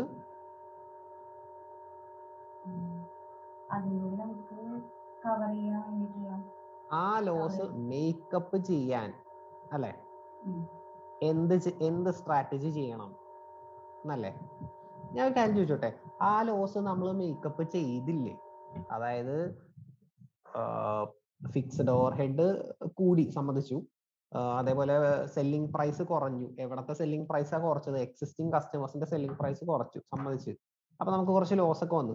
ആ ലോസും കൂടെ കവർ ചെയ്തിട്ടല്ലേ നമ്മൾ ആ ലോസും കൂടെ കവർ ചെയ്താലും ഫിഫ്റ്റീൻ പെർസെന്റേജ് പ്രോഫിറ്റ് വന്നം. ആ രീതിയിലല്ലേ നമ്മൾ ന്യൂ ഓർഡറിന്റെ സെല്ലിംഗ് പ്രൈസ് ഫിക്സ് ചെയ്തത്. ഏഹ് അപ്പൊ നമ്മൾ ഓൾറെഡി അത് ചെയ്തല്ലോ. പിന്നെ ഇവന്മാർ എന്ത് എന്താ ഈ സ്ട്രാറ്റജി റെക്കമെൻഡ് ചെയ്യാൻ പറയണത്? അഭിജിത്ത് എന്താടാ അത്? അപ്പോൾ സബ്സീക്വന്റ് ഇയറിലും സെയിൽ സബ്സിക്വന്റ് ഇയറിലെ കാര്യമാണ് ചോദിക്കുന്നത്. അതായത് ഇപ്പൊ ഒരു ഓർഡർ കിട്ടി. അത് സംബന്ധിച്ച് അത് കഴിഞ്ഞ് കഴിഞ്ഞാൽ അടുത്ത വർഷം എന്ത് പറ്റും? അടുത്ത വർഷം കുറച്ച് കാര്യങ്ങളെ കുറിച്ച് ഇവർ സം- പറയാനുണ്ട് സിഇഒ ഇസ് കൺസേൺഡ് ഇയാളൊരു പറയാനുണ്ട് ആ അതെ. ഇതാണ്. ഇവിടെയാണ് അതിന്റെ സംഭവം. Given that the order is one time one time order ആണ് what will happen to the fixed overhead committed in nineteen twenty നമ്മൾ ഫിക്സ്ഡ് ഓവർ ഹെഡ് ഒരു കമ്മിറ്റ്മെന്റ് എടുത്തു പോയി. കാരണം നമ്മൾ സെക്കൻഡ് ഷിഫ്റ്റിൽ വർക്ക് ചെയ്യാൻ വേണ്ടിയിട്ടുള്ള സെറ്റ് അറേഞ്ച്മെന്റ്സ് അവിടെ ചെയ്തു. അപ്പൊ എന്ത് പറ്റി? നമ്മുടെ ഫിക്സ്ഡ് ഓവർ ഹെഡ് കുറച്ച് കൂടി റെന്റ് ലൈറ്റിംഗ് ഒക്കെ കൂടി റെന്റ് കൂടുതലായിരിക്കും ലൈറ്റിംഗ് അങ്ങനത്തെ കുറച്ച് ഫിക്സഡ് കോസ്റ്റ് കുറച്ച് ഇൻക്രീസ് ആയി പോയി. And also there is a loss in profit due to reduction in price which cannot be increased in subsequent year. ഇയാൾ ഈ ഒരു ഓർഡർ തന്ന്. അയാൾക്ക് അത് സപ്ലൈ ചെയ്ത്. അയാൾ പോയി. പക്ഷെ നമുക്ക് ഇനി റെഡ്യൂസ് ചെയ്ത പ്രൈസ് ബാക്കി കസ്റ്റമേഴ്സിന് നമ്മൾ റെഡ്യൂസ് ചെയ്ത പ്രൈസ് നമുക്ക് കൂട്ടാൻ പറ്റില്ല. അപ്പോ നമുക്കൊരു ലോസ് വരും. അത് മേക്കപ്പ് ചെയ്യാൻ എന്ത് ചെയ്യാൻ പറ്റും എന്നാണ് നമ്മളോട് ചോദിച്ചേക്കുന്ന question what can we do to make up this loss in the subsequent years അതായത് ഈ പുതിയ ഓർഡറിനെ വെച്ചിട്ടുള്ള കാര്യമല്ല പറയണത്. ആ ഓർഡർ കഴിഞ്ഞെന്ന് വിചാരിച്ചു. ഇനി ബാക്കിയുള്ള വർഷങ്ങളിലും ഇതേ സംഭവം സംഭവിക്കും. എന്ത് ചെയ്യാൻ പറ്റും? എന്ത് ചെയ്യാൻ പറ്റുമോ അഭിജിത്തെ? സബ്സിക്വന്റ് ഇയറിൽ സെയിൽ കൂടണ്ടേ സെയിൽ കൂട്ടണം ഓക്കെ സെയിൽ എങ്ങനെ കൂട്ടും? കറക്റ്റ് ആയിട്ട് പറയണം സ്ട്രാറ്റജി ഓക്കെ കറക്റ്റ് ആണ്. സെയിൽ കൂടണം. എങ്ങനെ കൂടും? അതായത് നമ്മൾ ഫസ്റ്റ് എത്ര ലോസ് ഉണ്ടെന്ന് കണ്ടുപിടിക്കും. എന്നാലാണല്ലോ എത്ര സെയിൽ കൂടണം എന്ന് പറയാൻ പറ്റുള്ളൂ.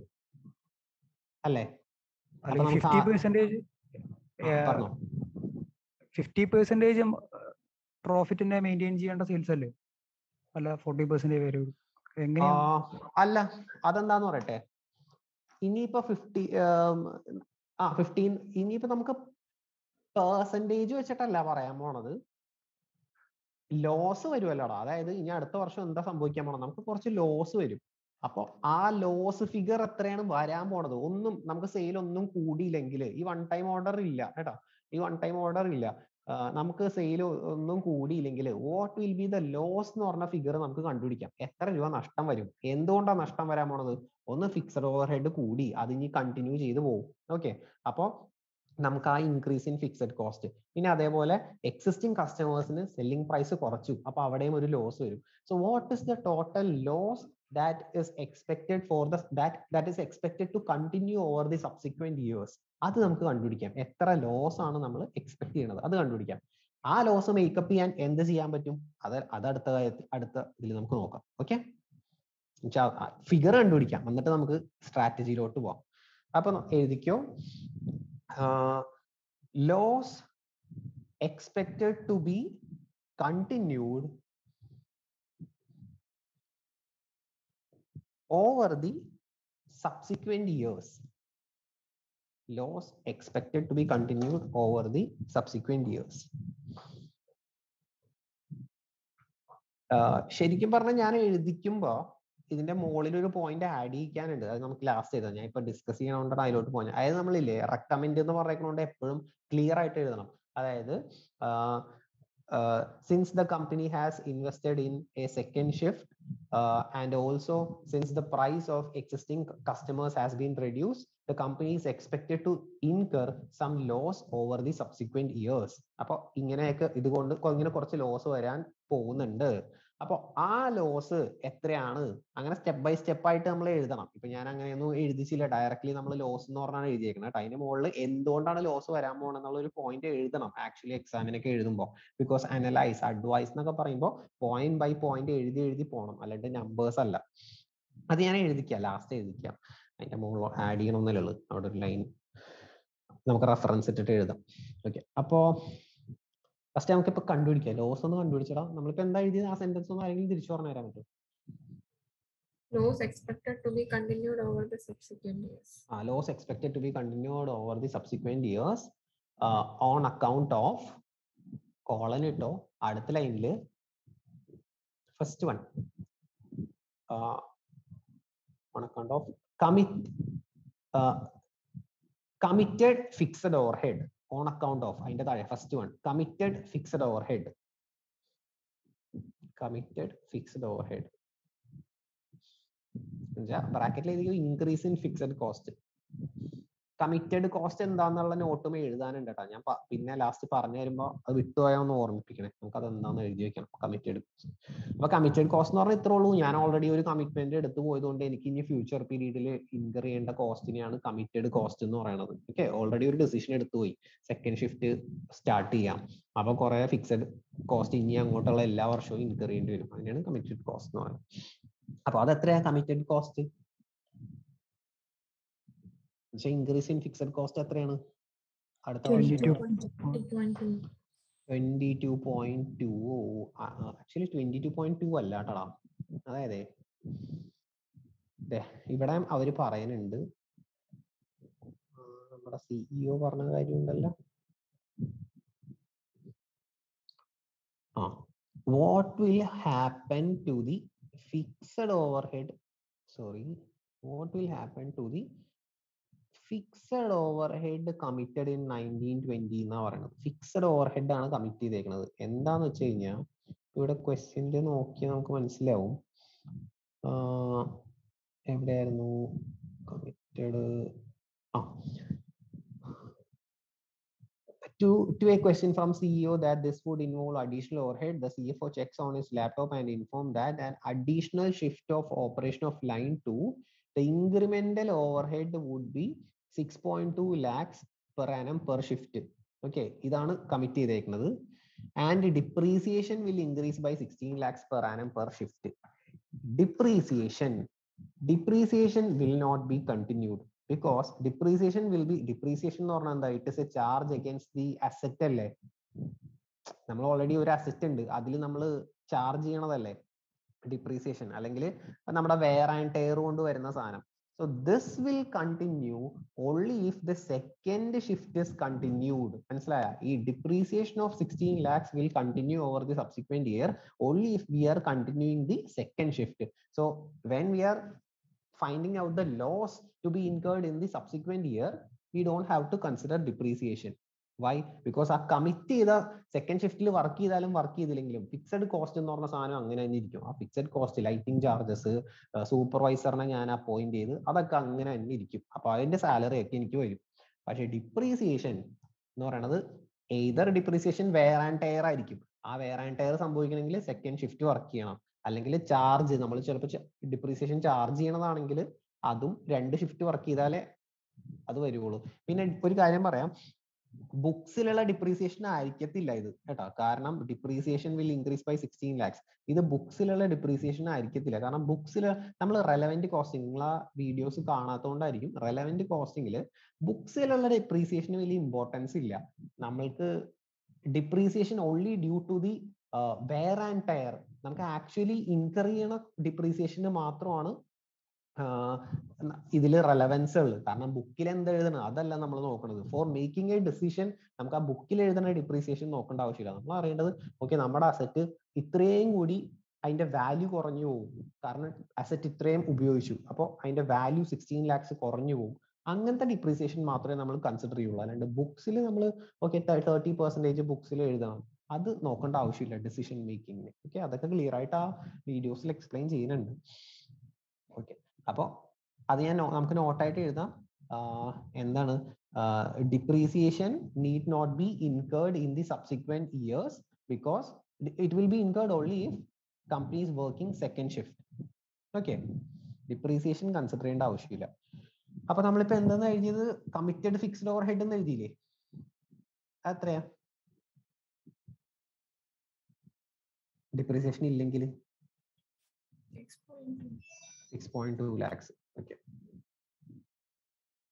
six point two lakhs അപ്പോ ലോസ് ഓൺ അക്കൗണ്ട് ഓഫ് നമ്മളിപ്പോ എഴുതി ഓൺ അക്കൗണ്ട് ഓഫിൽ ഫസ്റ്റ് വൺ നമ്മൾ എഴുതി committed fixed overhead six point two lakhs second ലൈനിൽ എഴുതിക്കോ reduction in selling price to existing customers reduction in selling price to existing customers existing കസ്റ്റമേഴ്സിന് selling price reduce ചെയ്തത് കൊണ്ട്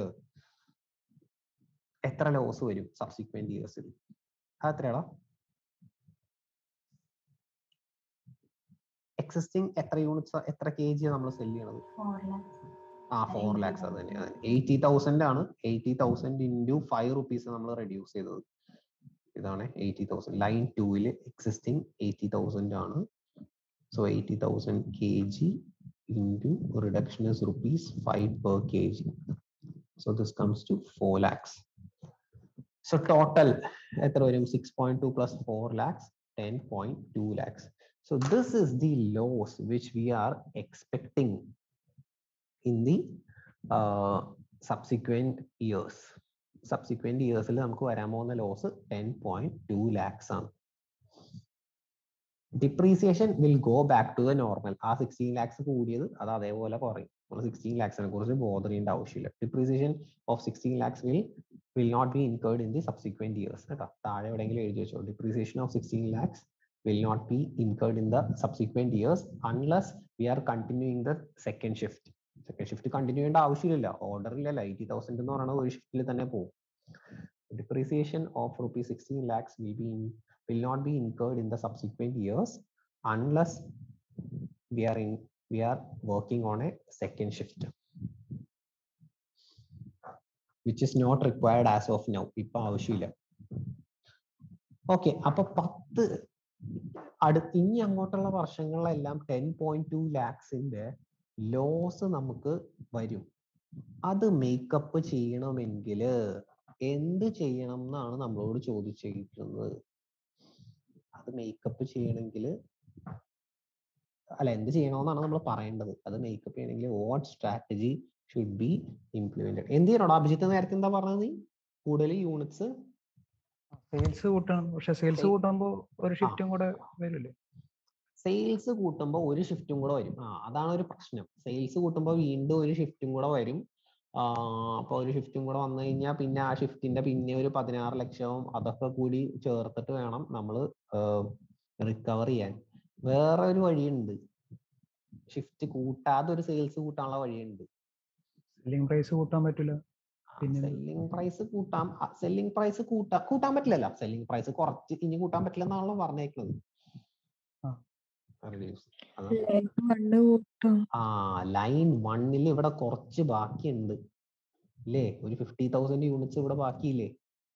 ഫിഫ്റ്റി തൗസൻഡ് ഈ fifty thousand capacity utilise ചെയ്താലും നമ്മൾ എന്ത് ചെയ്യേണ്ട ആവശ്യമില്ല. We will not have to work on another shift because already line one is working at its maximum shift three ഷിഫ്റ്റിൽ already work ചെയ്യാണ്. അപ്പോൾ even if we increase this 8 percentage we don't have to uh, work on another shift. അപ്പോൾ എന്ത് cost മാത്രമേ കൂടുള്ളൂ? Variable cost മാത്രമേ വരുള്ളൂ. Fixed cost വരത്തില്ല. മനസ്സിലായടാ? Clear ആണാടാ ശ്രുതി? ലൈൻ വണ്ണിലെ ലൈൻ വണ്ണിലെ യൂണിറ്റ്സ് കൂട്ടിയ എനിക്ക് അറിയില്ല കേട്ടോ ലൈൻ വണ്ണിലെ യൂണിറ്റ്സ് വെച്ചിട്ട് ഇത് കവർ ചെയ്യാൻ പറ്റുമോ എന്നറിയില്ല ഞാനൊരു പോസിബിലിറ്റി പറഞ്ഞാണ് നമുക്ക് നോക്കണം. അപ്പൊ ലൈൻ വണ്ണിലെ യൂണിറ്റ്സ് വെച്ച് നമ്മൾ കവർ ചെയ്ത് കഴിഞ്ഞ് കവർ ചെയ്യാൻ പറ്റിയ ഒരു പ്രശ്നമില്ല കാരണം അവിടെ ഫിക്സഡ് കോസ്റ്റ് വരില്ല. കാരണം already line one is working in three three shift ബാക്കി. അപ്പോൾ ലൈൻ വൺ വെച്ചിട്ട് അത് ചെയ്യാൻ പറ്റുമോ നമുക്ക് നോക്കാം. അപ്പൊ അതിനെങ്ങനെയാണ് കോൺട്രിബ്യൂഷൻ എത്രയാണ് ലൈൻ വണ്ണിൽ? Contribution in line one is seventy two. I need to make up a loss of ten lakh twenty two twenty thousand rupees. Means divided by seventy two ചെയ്താൽ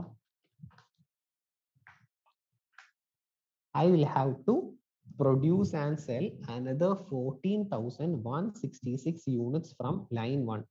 14,166 unit is possible because line 1 have an excess capacity of 50,000 units. Clearly, അല്ലേ അപ്പോൾ നമ്മളത് പറഞ്ഞ കാര്യം തന്നെ നിങ്ങൾ പറഞ്ഞ കാര്യം തന്നെ. സെയിൽ കൂട്ടണം. സെയിൽ കൂട്ടുമ്പോൾ ലൈൻ ടൂവിൽ കൂട്ടാതെ ലൈൻ വണ്ണിൽ കൂട്ടാനാണ് line two one product sale കൂട്ടാനാണ് നമ്മളൊരു സ്ട്രാറ്റജി ആയിട്ട് റെക്കമെൻഡ് ചെയ്യാൻ പോണത്.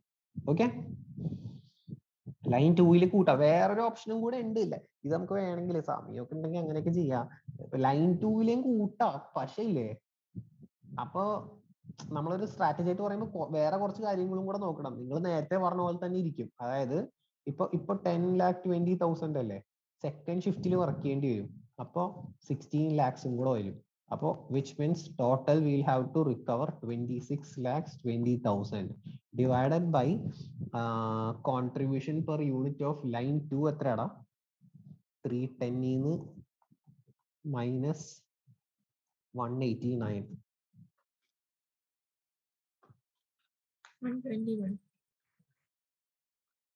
one twenty one അപ്പോൾ one twenty one six lakhs thousand one one അപ്പോൾ എത്ര യൂണിറ്റ് ആണ്? Twenty one thousand unit twenty one six five two എന്ന് വരും. അപ്പൊ രണ്ട് ബെസ്റ്റ് സ്ട്രാറ്റജി ലൈൻ വണ്ണിൽ കൂട്ടറാണ് ഫോർട്ടീൻ തൗസൻഡ് യൂണിറ്റ് സെൽ ചെയ്താൽ മതി. Or they can continue working in second shift and sell twenty one thousand six fifty in order to recover the cost. Okay. Clear ആണോ? അപ്പൊ നമുക്ക് എഴുതാം. അത് ലൈൻ വണ്ണിന്റെ ആദ്യം എഴുതാം. അതാണ് കുറച്ചും കൂടെ ബെറ്റർ സെക്കൻഡ് ഷിഫ്റ്റ് ഒക്കെ നമുക്ക് എലിമിനേറ്റ് ചെയ്യാം. ആ committed F C committed F C എന്താന്ന് ഞാൻ ഇവിടെ എഴുതി വെച്ചിട്ടുണ്ട്. ഇതും എഴുതിയെടുത്തോട്ടോ. എഴുതിയെടുത്തോളേ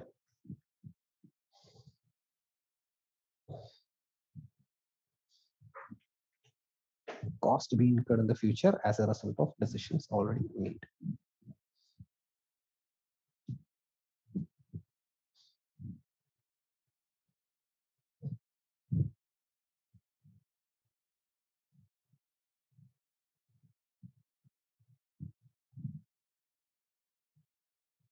ആ, ഇങ്ങനെ എഴുതണം എന്നാ ഞാൻ പറഞ്ഞ കേട്ടോ. ഈ ഈ പോയിന്റ് ഈ പോയിന്റ് ഞാൻ പറയാൻ തന്നെ വിട്ടുപോയി. ഒന്ന് ന്യൂ ഓർഡർ വൺ ടൈം അതൊക്കെ ക്വസ്റ്റിന്റെ തന്നെ ഉള്ളതാണ്. New order one time order ആണ്. അപ്പൊ ആ കോൺട്രിബ്യൂഷൻ എന്ന് പറയുന്ന സാധനം വൺ ടൈം ബെനിഫിറ്റ് ആണ്.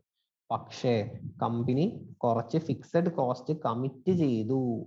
And also reduction in selling price of line two അത് കാരണം കൊണ്ട് കമ്പനിക്ക് അടുത്ത വർഷം കുറച്ച് ലോസ് ഇൻകർ ചെയ്യും.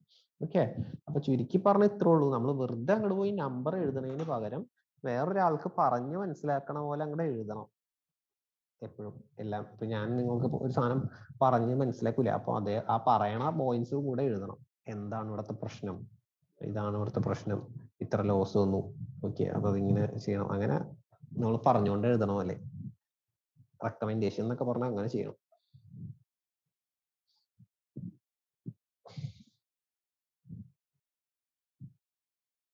ഡീറ്റെയിൽ ആയിട്ട് എഴുതണം എന്ന്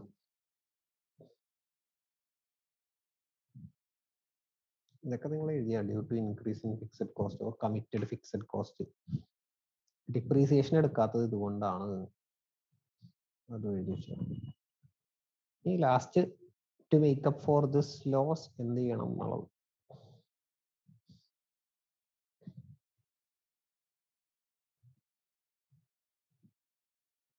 ആക്ച്വലി വേണമെങ്കിൽ രണ്ട് ഓപ്ഷൻ എന്നൊക്കെ എഴുതാം കേട്ടോ നമ്മൾ ഒരെണ്ണം എഴുതിയിട്ടുള്ള to make up for this loss the option would be to sell additional units in line one to utilise the excess capacity in third shift ഇതല്ലാതെ ഒരു ഓപ്ഷനും കൂടെ ഉണ്ട്. വേണമെങ്കിൽ നമുക്ക് താഴെ എഴുതാം. Or the company may continue to operate in second shift and produce four units in line two പക്ഷെ അപ്പൊ എന്ത് കോസ്റ്റും കൂടെ വരും? സെക്കൻഡ് ഷിഫ്റ്റിന്റെ ആ ഡിപ്രീസിയേഷൻ കോസ്റ്റ് ഒക്കെ വരും.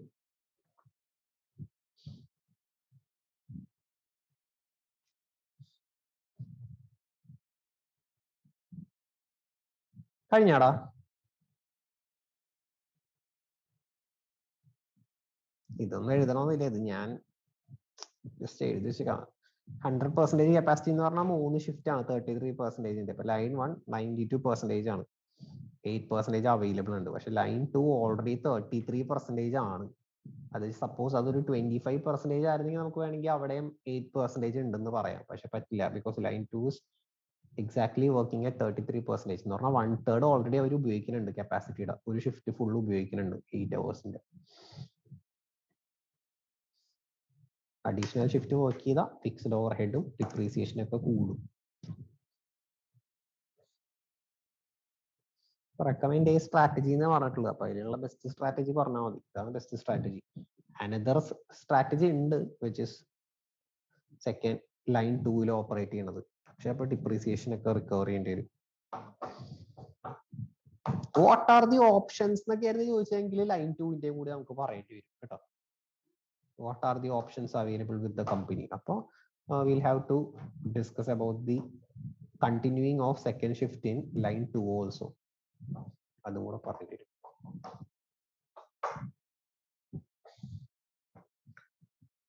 ശരി. കഴിഞ്ഞാടാ എല്ലാവരുടെയും. ശ്രുതി കഴിഞ്ഞാടാ അപ്പൊ നമുക്ക് നെക്സ്റ്റ് ക്വസ്റ്റ്യൻ ആ. ഇത് നിങ്ങൾ തന്നെ ചെയ്യാം arrive at the price arrive at a price to the new customer at or below which it does not make financial sense to quote and get the order from the new customer with explanation explanation last കൊടുക്കാം. ആ എക്സ്പ്ലനേഷനോട് ചേർത്ത് എഴുതണം. അത് നമുക്ക് ചെയ്യാം. Find the അറേ പറ്റിയ price below which it it does not make any sense എന്നാ പറയണം. എന്ന് വെച്ച് കഴിഞ്ഞാൽ minimum price to be quoted from the new customer കണ്ടുപിടിക്കണം. ഓക്കെ നമ്മളിപ്പോ കണ്ടുപിടിച്ചേക്കുന്ന പ്രൈസ് ടു സിക്സ്റ്റി അപ്പൊ അതല്ലാതെ ഈ ഓർഡർ ഏറ്റവും കുറഞ്ഞത് എനിക്ക് ഇത്രയും രൂപയെങ്കിലും കിട്ടിയാലേ ഞാൻ ചെയ്യുള്ളൂ. ആ പ്രൈസ് കണ്ടുപിടിക്കണം. ഓക്കെ മിനിമം പ്രൈസ് നമുക്ക് ജസ്റ്റ് ഡിസ്കസ് മാത്രം ചെയ്യാം. നമ്പേഴ്സ് വേണ്ട. മിനിമം പ്രൈസ് എങ്ങനെയായിരിക്കും കണ്ടുപിടിക്കുന്നത്? എന്തിന്റെ ബേസ് കണ്ടുപിടിക്കും? അഭിജിത്ത് എന്തിന്റെ ബേസ് കണ്ടുപിടിക്കണോ? ടോട്ടൽ കോസ്റ്റ് കവർ ആണ് ആ ടോട്ടൽ കോസ്റ്റ് കവർ ആവണം. ടോട്ടൽ കോസ്റ്റ് കവർ ആവണോന്ന് പറഞ്ഞു കഴിഞ്ഞാൽ ആ വേരിയബിൾ കോസ്റ്റും ആ ഇൻക്രിമെന്റലിനെ ബേസ് ചെയ്ത് ചെയ്താൽ മതി. ടോട്ടൽ കോസ്റ്റ് കവർ ആവണതൊക്കെ ശരി. അപ്പൊ നമ്മൾ എന്ത് ചെയ്യണം എന്ന് പറയട്ടെ? ശരിക്കും പറഞ്ഞാൽ ഇങ്ങനെയാണ് നോക്കുന്നത് അതായത് ഇപ്പോ എനിക്ക് ഓക്കെ ഇപ്പോ എനിക്ക് one ninety nine point eight lakhs profit ഉണ്ട്. ഒരു പുതിയ ഓർഡർ വന്നു. ആ പുതിയ ഓർഡർ ഞാൻ ഒരു കാരണവശാലും എന്റെ പ്രോഫിറ്റ് ആ പുതിയ ഓർഡർ അക്സെപ്റ്റ് ചെയ്ത് കഴിയുമ്പോൾ എന്റെ പ്രോഫിറ്റ് കൂടിയില്ലെങ്കിലും കുഴപ്പമില്ല. ഈ പ്രോഫിറ്റ് കുറയാൻ പാടില്ല. അല്ലെ? അങ്ങനെയല്ലേ? അങ്ങനെയല്ലേ നമ്മൾ മിനിമം പ്രൈസ് എന്ന് പറയുന്നത് അപ്പോൾ മിനിമം ഞാൻ ഒരു പ്രൈസ് കോട്ട് ചെയ്യും. In such a way that my profit will not go below my present profit ഇപ്പോഴത്തെ പ്രോഫിറ്റിനേലും താഴെ പോകാൻ പാടില്ല. അതാണ് എന്റെ ഒബ്ജക്റ്റീവ് മിനിമം പ്രൈസ് കണ്ടുപിടിക്കുമ്പോൾ എന്റെ ഒബ്ജക്റ്റീവ് അതാണ്. അപ്പോൾ നിങ്ങൾ പറഞ്ഞ പോലെ അങ്ങനെ ബേസ് അതിനെ ബേസ് ചെയ്ത് പ്രോഫിറ്റ് എന്നൊക്കെ ബാക്ക് വർക്ക് ചെയ്യാൻ പോയി കഴിഞ്ഞാൽ ഭയങ്കര പാടാണ് നമ്മൾ ചെയ്യാൻ പറ്റും പക്ഷെ കുറെ സമയം എടുക്കും. അതിനേലും ഈസി പുതിയ ഓർഡർ കാരണം കൊണ്ട് ഇൻക്രിമെന്റൽ ആയിട്ട് എന്ത് കോസ്റ്റ് വരുന്നത്? ആ കോസ്റ്റ് എനിക്ക് റിക്കവർ ആവണം. അത് മാത്രം നോക്കിയാൽ പോരെ. What is the incremental cost on accepting this order that should be recovered അപ്പൊ അവിടെ നമ്മൾ യൂസ് ചെയ്യണ വേർഡ് ഇൻക്രിമെന്റൽ എന്നല്ല minimum price should be equal to relevant cost on accepting the order ഈ ഓർഡർ അക്സെപ്റ്റ് ചെയ്ത റെലവെന്റ് കോസ്റ്റ് എത്രയാണ്? അതാണ് എനിക്ക് പ്രൈസ് ആയിട്ട് വേണ്ടത്. Relevant cost relevant cost will include opportunity cost also relevant കോസ്റ്റിൽ എന്തുണ്ടാവും? ഓപ്പർച്യൂണിറ്റി കോസ്റ്റ് ഉണ്ടാവും. ഇവിടെ എനിക്കൊരു ഓപ്പർച്യൂണിറ്റി കോസ്റ്റ് ഉണ്ട്. If this new order is accepted I will have to reduce my price on existing price for existing customers that That is an opportunity cost. So opportunity that opportunity cost should also be considered the minimum price. മനസ്സിലായോ? Minimum price കണ്ടുപിടിക്കുമ്പോൾ അതുകൂടി നമ്മൾ consider ചെയ്യണം. Opportunity കോസ്റ്റും കൂടെ consider ചെയ്യണം. Okay അപ്പൊ നമുക്ക് എഴുതാം. ഞാൻ ഇതേപോലെ സെന്റൻസ് ബൈ സെന്റൻസ് ഒക്കെ തരാം. നിങ്ങൾ ആദ്യം എനിക്ക് ജസ്റ്റ് ഒന്ന് കണ്ടുപിടിച്ച് തന്നെ. എത്രയാണ് നമുക്ക് വരാൻ പോണോ? ഇൻക്രിമെന്റൽ കോസ്റ്റ് റെലവെന്റ് കോസ്റ്റ് എത്രയായിരിക്കും എന്നൊന്ന് ജസ്റ്റ് വെറുതെ പറഞ്ഞേ. എഴുതൽ നമുക്ക് അടുത്ത ഇതിൽ നോക്കാം. പുതിയ ഓർഡർ അക്സെപ്റ്റ് ചെയ്യുമ്പോൾ എന്തൊക്കെയാണ് എനിക്ക് കോസ്റ്റ് ആയിട്ട് വരാൻ പോണത്? ശ്രുതി കിട്ടിയടാ? 173.4 one seventy three point four ഇത് പെർ യൂണിറ്റ് ആണോ നീ പറയണോ? അല്ലെങ്കിൽ ടോട്ടൽ ആണോ? അപ്പൊ one seventy three point four lakhs ആണോ? ആ. ഓക്കെ എനിക്ക് ഇതിന്റെ സ്പ്ലിറ്റ് അപ്പ് ഇതാ. എങ്ങനെ one seventy three point four കിട്ടിയെന്ന് സ്പ്ലിറ്റ് അപ്പ് ഒരു മിനിറ്റ് എന്താ അഭിജിത്തെ പറഞ്ഞത്? അല്ല ഓപ്പർച്യൂണിറ്റി കോസ്റ്റും കൂടെ ആഡ് ചെയ്യണം. ആ, 177. നിങ്ങൾ എന്തൊക്കെ ആഡ് ചെയ്തെന്ന് ഞാൻ ചോദിക്കട്ടെ. ഒന്ന് പറ. One fifty one point two variable cost one fifty one point two variable cost lakhs variable cost ആ വേരിയബിൾ കോസ്റ്റ് പിന്നെ? പിന്നെ overheads six point two lakhs six point two two lakhs overhead ആ. Depreciation sixteen lakhs sixteen lakhs depreciation ആ. അപ്പൊ ഞാൻ add ചെയ്തത് പിന്നെ opportunity cost add ചെയ്തിട്ടില്ല നമ്മൾ കണ്ടുപിടിച്ച് വെച്ചിട്ടില്ലേ? Four lakhs eighty thousand into five rupees എന്ന് വെച്ചിട്ട് നേരത്തെ നീ നീ തന്നെയല്ലേ പറഞ്ഞ. ഓപ്പർച്യൂണിറ്റി കോസ്റ്റ് കണ്ടുപിടിച്ച് വെച്ചാൽ അപ്പൊ ഇതെല്ലാം കൂടി ആഡ് ചെയ്യുമ്പോൾ എത്ര വരും? ഇതാണ് അഭിജിത്തെ കിട്ടിയത്. One seventy seven one seventy seven point four lakhs divided by eighty thousand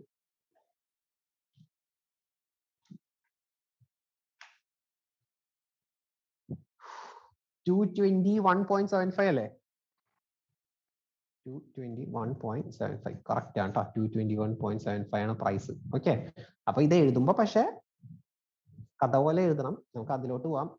ഞാൻ എഴുതിയേക്കണതിൽ കുറച്ചും കൂടെ നല്ലതാണ് ഇപ്പൊ നിങ്ങൾ കണ്ടുപിടിച്ചേക്കണേ. ഇത് ഇത് ഇത് എഴുതാം നമുക്ക് ലാസ്റ്റ് ഞാൻ പെർ യൂണിറ്റ് ഒക്കെ വെച്ചിട്ട് എഴുതിയേക്കണത്.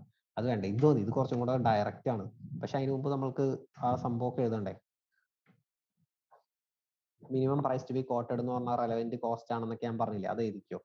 ആ ഒരു sentence എഴുതിച്ചോ answer minimum price to be quoted is equal to relevant cost to the company relevant cost എന്ന് പറഞ്ഞാൽ എന്തൊക്കെയാണ്? വേരിയബിൾ കോസ്റ്റ് വേണം. ഇൻക്രിമെന്റൽ ഫിക്സഡ് കോസ്റ്റ് ആണ്. കേട്ടോ അവിടെ ഇൻക്രിമെന്റൽ മാത്രമേ ഉള്ളൂ. വേരിയബിൾ കോസ്റ്റ് ഫുൾ എടുക്കും. ഫിക്സഡ് കോസ്റ്റ് ഉള്ളി ഇത് ഇൻക്രിമെന്റൽ ടോട്ടൽ ഫിക്സഡ് കോസ്റ്റ് പോയി എടുക്കേണ്ട ആവശ്യമില്ല. ഫിക്സഡ് കോസ്റ്റിൽ വരുന്ന വ്യത്യാസം മാത്രം എടുത്താൽ മതി. അതാണ് relevant cost plus loss in profit any എന്ന് വെച്ചാൽ ഓപ്പർച്യൂണിറ്റി കോസ്റ്റ് എന്തെങ്കിലും ഉണ്ടെങ്കിൽ that should also be consider opportunity cost okay എന്നിട്ട് ഞാൻ എഴുതിയേക്കുന്ന ഇത്തിരി കോംപ്ലിക്കേഷൻ ആണ്. അപ്പൊ അതിനേലും നല്ലത് variable increase in fixed cost എഴുതുക ലോസ് ഇൻ പ്രോഫിറ്റ് എഴുതുക. പിന്നെ നമ്മൾ എന്തൊക്കെയായിരുന്നു എഴുതിയത്? ആ total variable cost total variable cost eighty thousand into eighty thousand into എത്ര ആയിരുന്നാ വൺ എയ്റ്റി നയൻ ആ വൺ എയ്റ്റി നയൻ അപ്പൊ അതും കൂടെ ഇവിടെ ചേർത്തോട്ടോ. എന്നിട്ട് ലാക്സ് എത്ര ലാക്സ് ആണ് എഴുതിയാൽ മതി. എന്റെ പിന്നെ വെറുതെ കോംപ്ലിക്കേഷൻ ആയി പോകും. അതുകൊണ്ട് ഒറ്റടിക്ക് ആൻസർ കിട്ടുമല്ലോ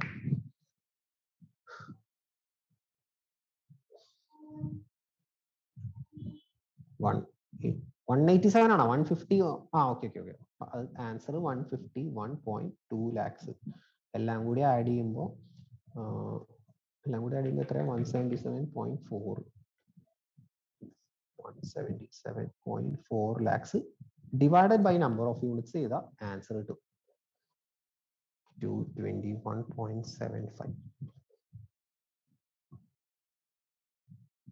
ഞാൻ ഇവിടെ തേർട്ടി ടു കണ്ടുപിടിച്ചിട്ട് പിന്നെ വേരിയബിൾ കോസ്റ്റ് പെർ യൂണിറ്റ് ഒക്കെ എഴുതി അങ്ങനെയൊക്കെയാണ് ചെയ്തത്.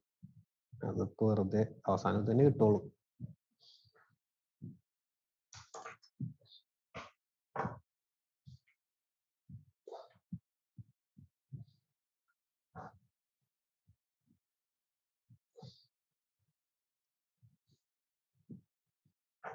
ഓക്കെ അപ്പൊ two twenty one point seven five അപ്പൊ ലാസ്റ്റ് അതെടുത്ത് എഴുതണേ. Minimum minimum price to be ആ ഇവിടെ ഇതുണ്ട്. Minimum price to be obtained minimum price to be quoted will be rupees two twenty one point seven five ഇത്. വേണ്ട നമ്മൾ ചെയ്തിട്ടില്ല minimum price to be quoted നോക്കിയാൽ മതി. അല്ലെങ്കിൽ മിനിമം ആ ഒപ്റ്റൈൻഡ് ആണെങ്കിൽ കുഴപ്പമില്ല minimum price to be obtained from the customer എന്നാണ് ഉദ്ദേശിക്കുന്നത്. Minimum price to be obtained was equal to 221.75 so this is the price at which there is no profit no loss പ്രോഫിറ്റും loss ഒന്നുമില്ല from the order കേട്ടോ. അല്ലാണ്ട് കമ്പനിക്ക് മൊത്തത്തിലല്ല. ഈ ഓർഡറിൽ നിന്ന് profit profit loss ഒന്നും ഇല്ല at this price there is no loss or profit from the order clear? Explain എന്നും കൂടെ ഇവന്മാര് നമ്മളോട് ഒരു കാര്യം കൂടി പറഞ്ഞിട്ടുണ്ട്.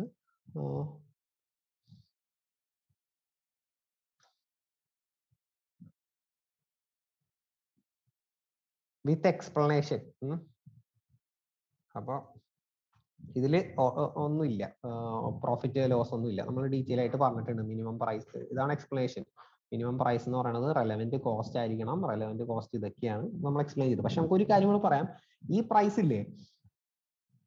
ഇത് ആക്ച്വലി തിയറാണ് നിങ്ങൾക്ക് ചിലപ്പോൾ അറിയാൻ പറ്റും ഈ പ്രൈസിന് നമ്മൾ കോട്ട് ചെയ്താൽ നമുക്ക് ബെനിഫിറ്റ് ഒന്നും ഇല്ല. നമ്മൾ ഈ സെക്കൻഡ് ഷിഫ്റ്റിലേക്കൊക്കെ പോണതുകൊണ്ട് വേറെ നമുക്ക് ബെനിഫിറ്റ് ഒന്നും ഇല്ല. ഈ പ്രൈസ് എപ്പോഴാ കോട്ട് ചെയ്യേണ്ടതെന്ന് പറയട്ടെ. This price this lowest price will be quote only if we are expecting something in future അതായത് നമുക്ക് ഇത് കിട്ടി. ഇത് കാരണം കൊണ്ട് ഇനി ഫ്യൂച്ചറിൽ നല്ലൊരു റിലേഷൻഷിപ്പ് വരും. ഫ്യൂച്ചറിൽ നമുക്കൊരു വലിയ ഓർഡർ കിട്ടാൻ ചാൻസ് ഉണ്ട്. അങ്ങനെയൊക്കെ ആണെങ്കിൽ നമ്മൾ എന്ത് ചെയ്യും? ഈ മിനിമം പ്രൈസ് കോട്ട് ചെയ്യും. അല്ലെങ്കിൽ it is always advisable to quote something above the minimum price okay practically അപ്പോൾ അതൊന്ന് എഴുതി വെച്ചോ. But in long term it may not be advisable എന്തുകൊണ്ടാണ്? ബിക്കോസ് ഒരു കമ്മിറ്റ്മെന്റ് ഉണ്ട്. The company is committing itself committing itself to some major fixed cost എനിക്ക് തന്നെ വായിക്കാട്ടുള്ള long term it is not advisable because due to this order company is committing itself to some major fixed overhead cost. കാരണം ഭാവിയിൽ നമ്മളൊരു fixed overhead cost എടുത്ത് commit ചെയ്യാൻ പോവാണ്. ഇവിടെ no profit no ലോസിന് നമ്മൾ ചെയ്തിട്ട് ഭാവിയിൽ ഇനി അങ്ങോട്ട് നമുക്ക് ലോസ് വരും. ഫിക്സഡ് കോസ്റ്റ് നമ്മൾ കമ്മിറ്റ് ചെയ്യാൻ പോവാണ്. അപ്പൊ അതുകൊണ്ട് ദിസ് ഇസ് നോട്ട് അഡ്വൈസബിൾ എന്നുള്ള പോയിന്റ് പറഞ്ഞു. ഇനി ഇത് കോട്ട് ചെയ്യാം. എപ്പോഴാണ്? Only if the order is really important to the company which means there is a possibility of big order in future അങ്ങനെയൊക്കെ എന്തെങ്കിലും ബെനിഫിറ്റ് ഉണ്ടെങ്കിൽ മാത്രമേ ഇത് കോട്ട് ചെയ്യാൻ പാടുള്ളൂ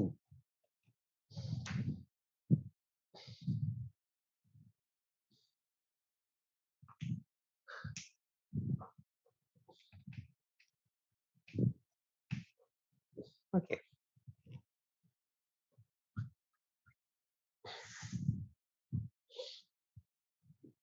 ശരി അപ്പോ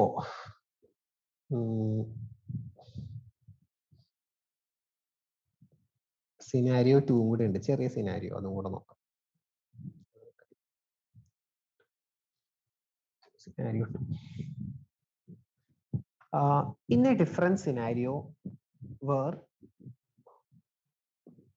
in a difference scenario where volume for the year nineteen twenty are assumed to be exactly as 1819 volume same ആണ് but the price of raw material has increased by 12 per kg for both products manufactured out of line 1 and line 2 volume same ആണ് raw മെറ്റീരിയലിന്റെ price പന്ത്രണ്ട് രൂപ കൂടി per K G പന്ത്രണ്ട് രൂപ കൂടി a price increase by twelve K G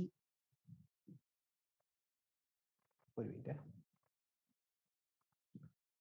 price increase by rupees twelve per K G എന്നാണ് okay a price increase by rupees 12 per kg for each of the products will result in a result in a drop in contribution percentage below 40 percentage of both the products calculations indicate that contribution margin can be retained at 40 percentage if the prices are increased by rupees 20 per kg ഒന്നും കൂടെ നമുക്ക് വായിക്കാം. ഇതിൽ കുറച്ച് mistake വന്നുകൊണ്ട് മനസ്സിലാവില്ല in A difference scenario അപ്പൊ നേരത്തെ കാര്യമൊന്നും ഇനി നോക്കണ്ട. ഡിഫറൻസ് സിനാരിയോ ആണ്. Where volume of the nineteen twenty are assumed to be same as eighteen nineteen volume അടുത്ത വർഷത്തെ വോളിയം സെയിം ആണ്. പക്ഷേ price of raw material increased by rupees twelve per K G price പന്ത്രണ്ട് രൂപ കൂടി. Both the products കേട്ടോ? എന്നിട്ട് അവർ പറയാണ് a price increase by rupees twelve per K G അപ്പൊ കോസ്റ്റ് കൂടിയല്ലോ. റോ മെറ്റീരിയലിന്റെ കോസ്റ്റ് കൂടി പന്ത്രണ്ട് രൂപ. പ്രൈസ് നമ്മൾ ഇൻക്രീസ് ചെയ്യാൻ പോവാണ്. എത്ര തന്നെ? പന്ത്രണ്ട് രൂപ തന്നെ. A price increase by rupees twelve per K G for each of the products will result in drop in contribution below forty percentage for both the products അപ്പൊ ഇതാണ് സിറ്റുവേഷൻ എങ്കിൽ കോൺട്രിബ്യൂഷൻ മാർജിൻ ഫോർട്ടി പെർസെന്റേജിനേലും കുറഞ്ഞു പോകും. Calculations indicate that contribution margin can be retained at forty percentage ഇത് forty പെർസെന്റേജിൽ തന്നെ നിർത്താം. എപ്പോ? If the prices increased by rupees twenty per K G അപ്പോൾ instead of price increase of twelve ഇതിന് ഇതിന് പകരം twenty per K G price increase ചെയ്യുകയാണെങ്കിൽ contribution can be retained at forty percentage എന്നാണ് പറയുന്നത് അപ്പോൾ മനസ്സിലായോ? റോ മെറ്റീരിയലിന്റെ പ്രൈസ് കൂടി. റോ മെറ്റീരിയലിന്റെ പ്രൈസ് അതായത് കോസ്റ്റ് കൂടി പന്ത്രണ്ട് രൂപ.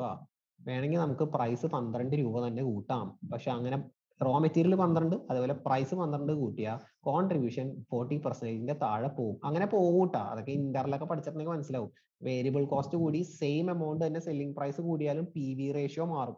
ഓക്കെ പി വി റേഷ്യോ കുറഞ്ഞു പോയി ഫോർട്ടി പെർസെന്റേജിലേലും അപ്പൊ അവർ പറയാണ് ഈ റോ മെറ്റീരിയൽ പന്ത്രണ്ട് രൂപ കൂടുമ്പോൾ സെയിൽ സെല്ലിംഗ് പ്രൈസ് ഇരുപത് രൂപ കൂട്ടിയ കോൺട്രിബ്യൂഷൻ ഫോർട്ടി പെർസെന്റേജ് ആക്കി തന്നെ നിർത്താം എന്നാ പറയണത്. അത് കറക്റ്റ് ആണ്. ഇതേ നോക്കിയേ സെല്ലിംഗ് പ്രൈസ് ട്വന്റി ഏഹ് വേരിയബിൾ കോസ്റ്റിൽ ഉണ്ടായ ചേഞ്ച് ട്വൽവ് അപ്പോൾ കോൺട്രിബ്യൂഷൻ എന്ന് പറയുന്നത് eight eight eight out of twenty into hundred ചെയ്ത് നോക്കിയാൽ എത്ര വരും?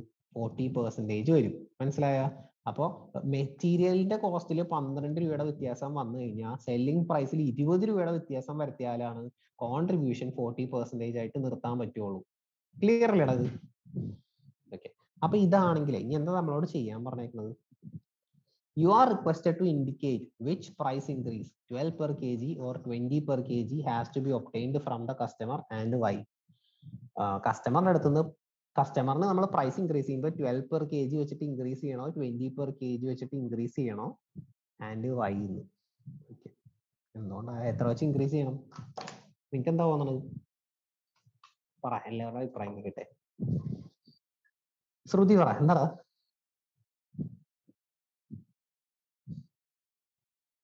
കസ്റ്റമറുടെ അടുത്ത് നിന്ന് പന്ത്രണ്ട് വെച്ചിട്ട് തന്നെ കസ്റ്റമറുടെ അടുത്ത് ട്വൽവ് ഇൻക്രീസ് ചെയ്താൽ മതിയോ? ട്വന്റി ഇൻക്രീസ് ചെയ്യണോ? നിന്റെ അഭിപ്രായം എന്താ? വെറുതെ അഭിപ്രായം കേൾക്കാനാ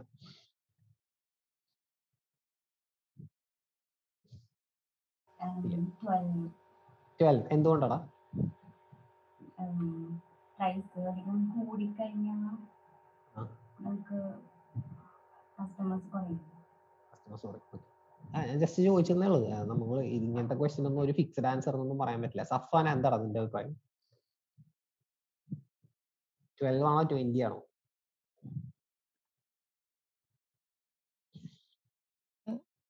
കസ്റ്റമേഴ്സിന് ഒത്തിരി ഒറ്റയടിക്ക് പ്രൈസ് ഒത്തിരി ഇൻക്രീസ് ചെയ്ത് കഴിഞ്ഞാൽ സെയിൽസ് കുറയാൻ ചാൻസ് ഇല്ലേ? സെയിൽസ് കുറയാൻ ചാൻസ് ഉണ്ട് ഓക്കെ അഭിജിത്ത് എന്താ ട്വൽവ് ആണോ? ഇതിൽ വേറെ ഒന്നും നമ്മൾ വേറെ കാര്യങ്ങളൊന്നും പറയണ്ട. ട്വൽവ് വേണോ ട്വന്റി വേണോ? അത്രേ ഉള്ളൂ. അഭിജിത്ത് എന്താടാ? ആ ട്വന്റി തന്നെ. അല്ല ഫിക്സഡ് കോസ്റ്റ് വരുന്ന കൂടുതലാന്നുണ്ടെങ്കിൽ ഫിക്സഡ് കോസ്റ്റ് ഒന്നും കൂടൂല. ട്വൽവ് തന്നെ. ട്വൽവ് തന്നെ വാങ്ങിച്ചാൽ മതി. എന്തുകൊണ്ടാണ്? ട്വന്റി വാങ്ങിക്കുന്നത് ജസ്റ്റിഫയബിൾ അല്ല അത്രേ ഉള്ളൂ. കാരണം നമുക്ക് കോൺട്രിബ്യൂഷൻ മാർജിൻ എപ്പോഴും ഇങ്ങനെ നിർത്തണം എന്ന് പറയാൻ പറ്റില്ല when the raw material price increase by twelve rupees we can increase selling price by only twelve rupees unless ഇതൊന്നും കസ്റ്റമർ അറിയണില്ലെങ്കിൽ ഇഫ് ദ കസ്റ്റമർ ഇപ്പൊ ഉണ്ടായിരുന്ന പ്രൈസും ഇതൊക്കെ അറിയാവുന്ന കസ്റ്റമർ ആണെങ്കിൽ നമുക്ക് ഒബ്വിയസ്ലി ട്വന്റി റുപ്പീസ് ഇൻക്രീസ് ചെയ്യിക്കാൻ പറ്റില്ല. ബിക്കോസ് എപ്പോഴും നമ്മൾ കോൺട്രിബ്യൂഷൻ ഫോർട്ടി പെർസെന്റേജ് ആയിട്ട് റൂൾ അങ്ങനെയൊന്നും നമുക്ക് റൂൾ ഒന്നും പറയാൻ പറ്റില്ല. പ്രൈസ് ഇഫ് ദ മറ്റേത് നമുക്ക് ജസ്റ്റിഫൈ ചെയ്യാം. കസ്റ്റമറിന്റെ അടുത്ത് പറയാം എടോ ഇതൊക്കെ കണ്ടില്ലേ? റോ മെറ്റീരിയൽ പന്ത്രണ്ട് രൂപ കൂടി. അപ്പൊ എനിക്ക് സെല്ലിംഗ് പ്രൈസ് അത്ര തന്നെ കൂട്ടണം. അതാണ് ജസ്റ്റിഫയബിൾ അങ്ങനെ എന്തെങ്കിലും ഒരു റീസൺ കൊടുക്കാന്നേ ഇതൊന്നും നമുക്ക് ഇങ്ങനെ ഒരു ആൻസർ ആയിട്ട് പഠിക്കാനോ അല്ലെങ്കിൽ തിയറിയിലൊന്നും പറയണില്ല. നമുക്ക് തോന്നണ ഒരു റെക്കമെൻഡേഷൻ എഴുതുക അത്രയുള്ളൂ അല്ലാണ്ട് കറക്റ്റ് ആൻസർ എന്നൊന്നും പറയാനൊന്നുമില്ല മറ്റേത് ജസ്റ്റിഫയബിൾ അല്ല. അത്രേ ഉള്ളൂ. വേണമെങ്കിൽ എഴുതിയെടുത്തോ ആരും റോ മെറ്റീരിയൽ പന്ത്രണ്ട് നിങ്ങൾ പറഞ്ഞ തന്നെയാണ്. എല്ലാവർക്കും തോന്നിയ കാര്യം തന്നെ. Raw material price increase by rupees twelve because no customers will pay more than twelve if X E will have to justify അതായത് നമുക്ക് കസ്റ്റമറുടെ അടുത്തൊന്നും പറയേണ്ട ആവശ്യമില്ല. അവരിതൊന്നും അറിയണില്ലെങ്കിൽ കുഴപ്പമില്ല. എന്ത് ചെയ്താലും. പക്ഷെ if we need to justify എന്തുകൊണ്ട് we are increasing the price if we have to justify then no customer will pay twenty rupees നമുക്ക് ജസ്റ്റിഫൈ ചെയ്യാൻ പറ്റണത് ഇതേ ഉള്ളൂ. പന്ത്രണ്ട് രൂപ റോ മെറ്റീരിയൽ പ്രൈസ് കൂടി. So I need an increase in selling price of rupees twelve ഉള്ളൂ okay പിന്നെ നമ്മളുടെ ഭാഗത്ത് നിന്ന് നോക്കുമ്പോഴും കോൺട്രിബ്യൂഷൻ പെർസെന്റേജ് കുറഞ്ഞെന്ന് പറഞ്ഞ് കമ്പനിക്ക് ലോസ് ഒന്നും വരുന്നില്ല. അതൊരു പെർസെന്റേജ് ആണ്. There is no loss to the company due to fall in contribution percentage price നമുക്ക് വരുന്ന കോസ്റ്റ് ഇൻക്രീസ് ഫുള്ളി റിക്കവർ ചെയ്താൽ മതി.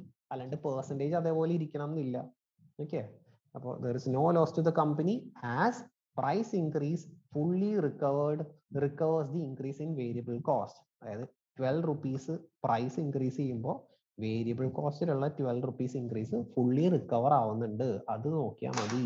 We don't have to increase twenty rupees from the customers okay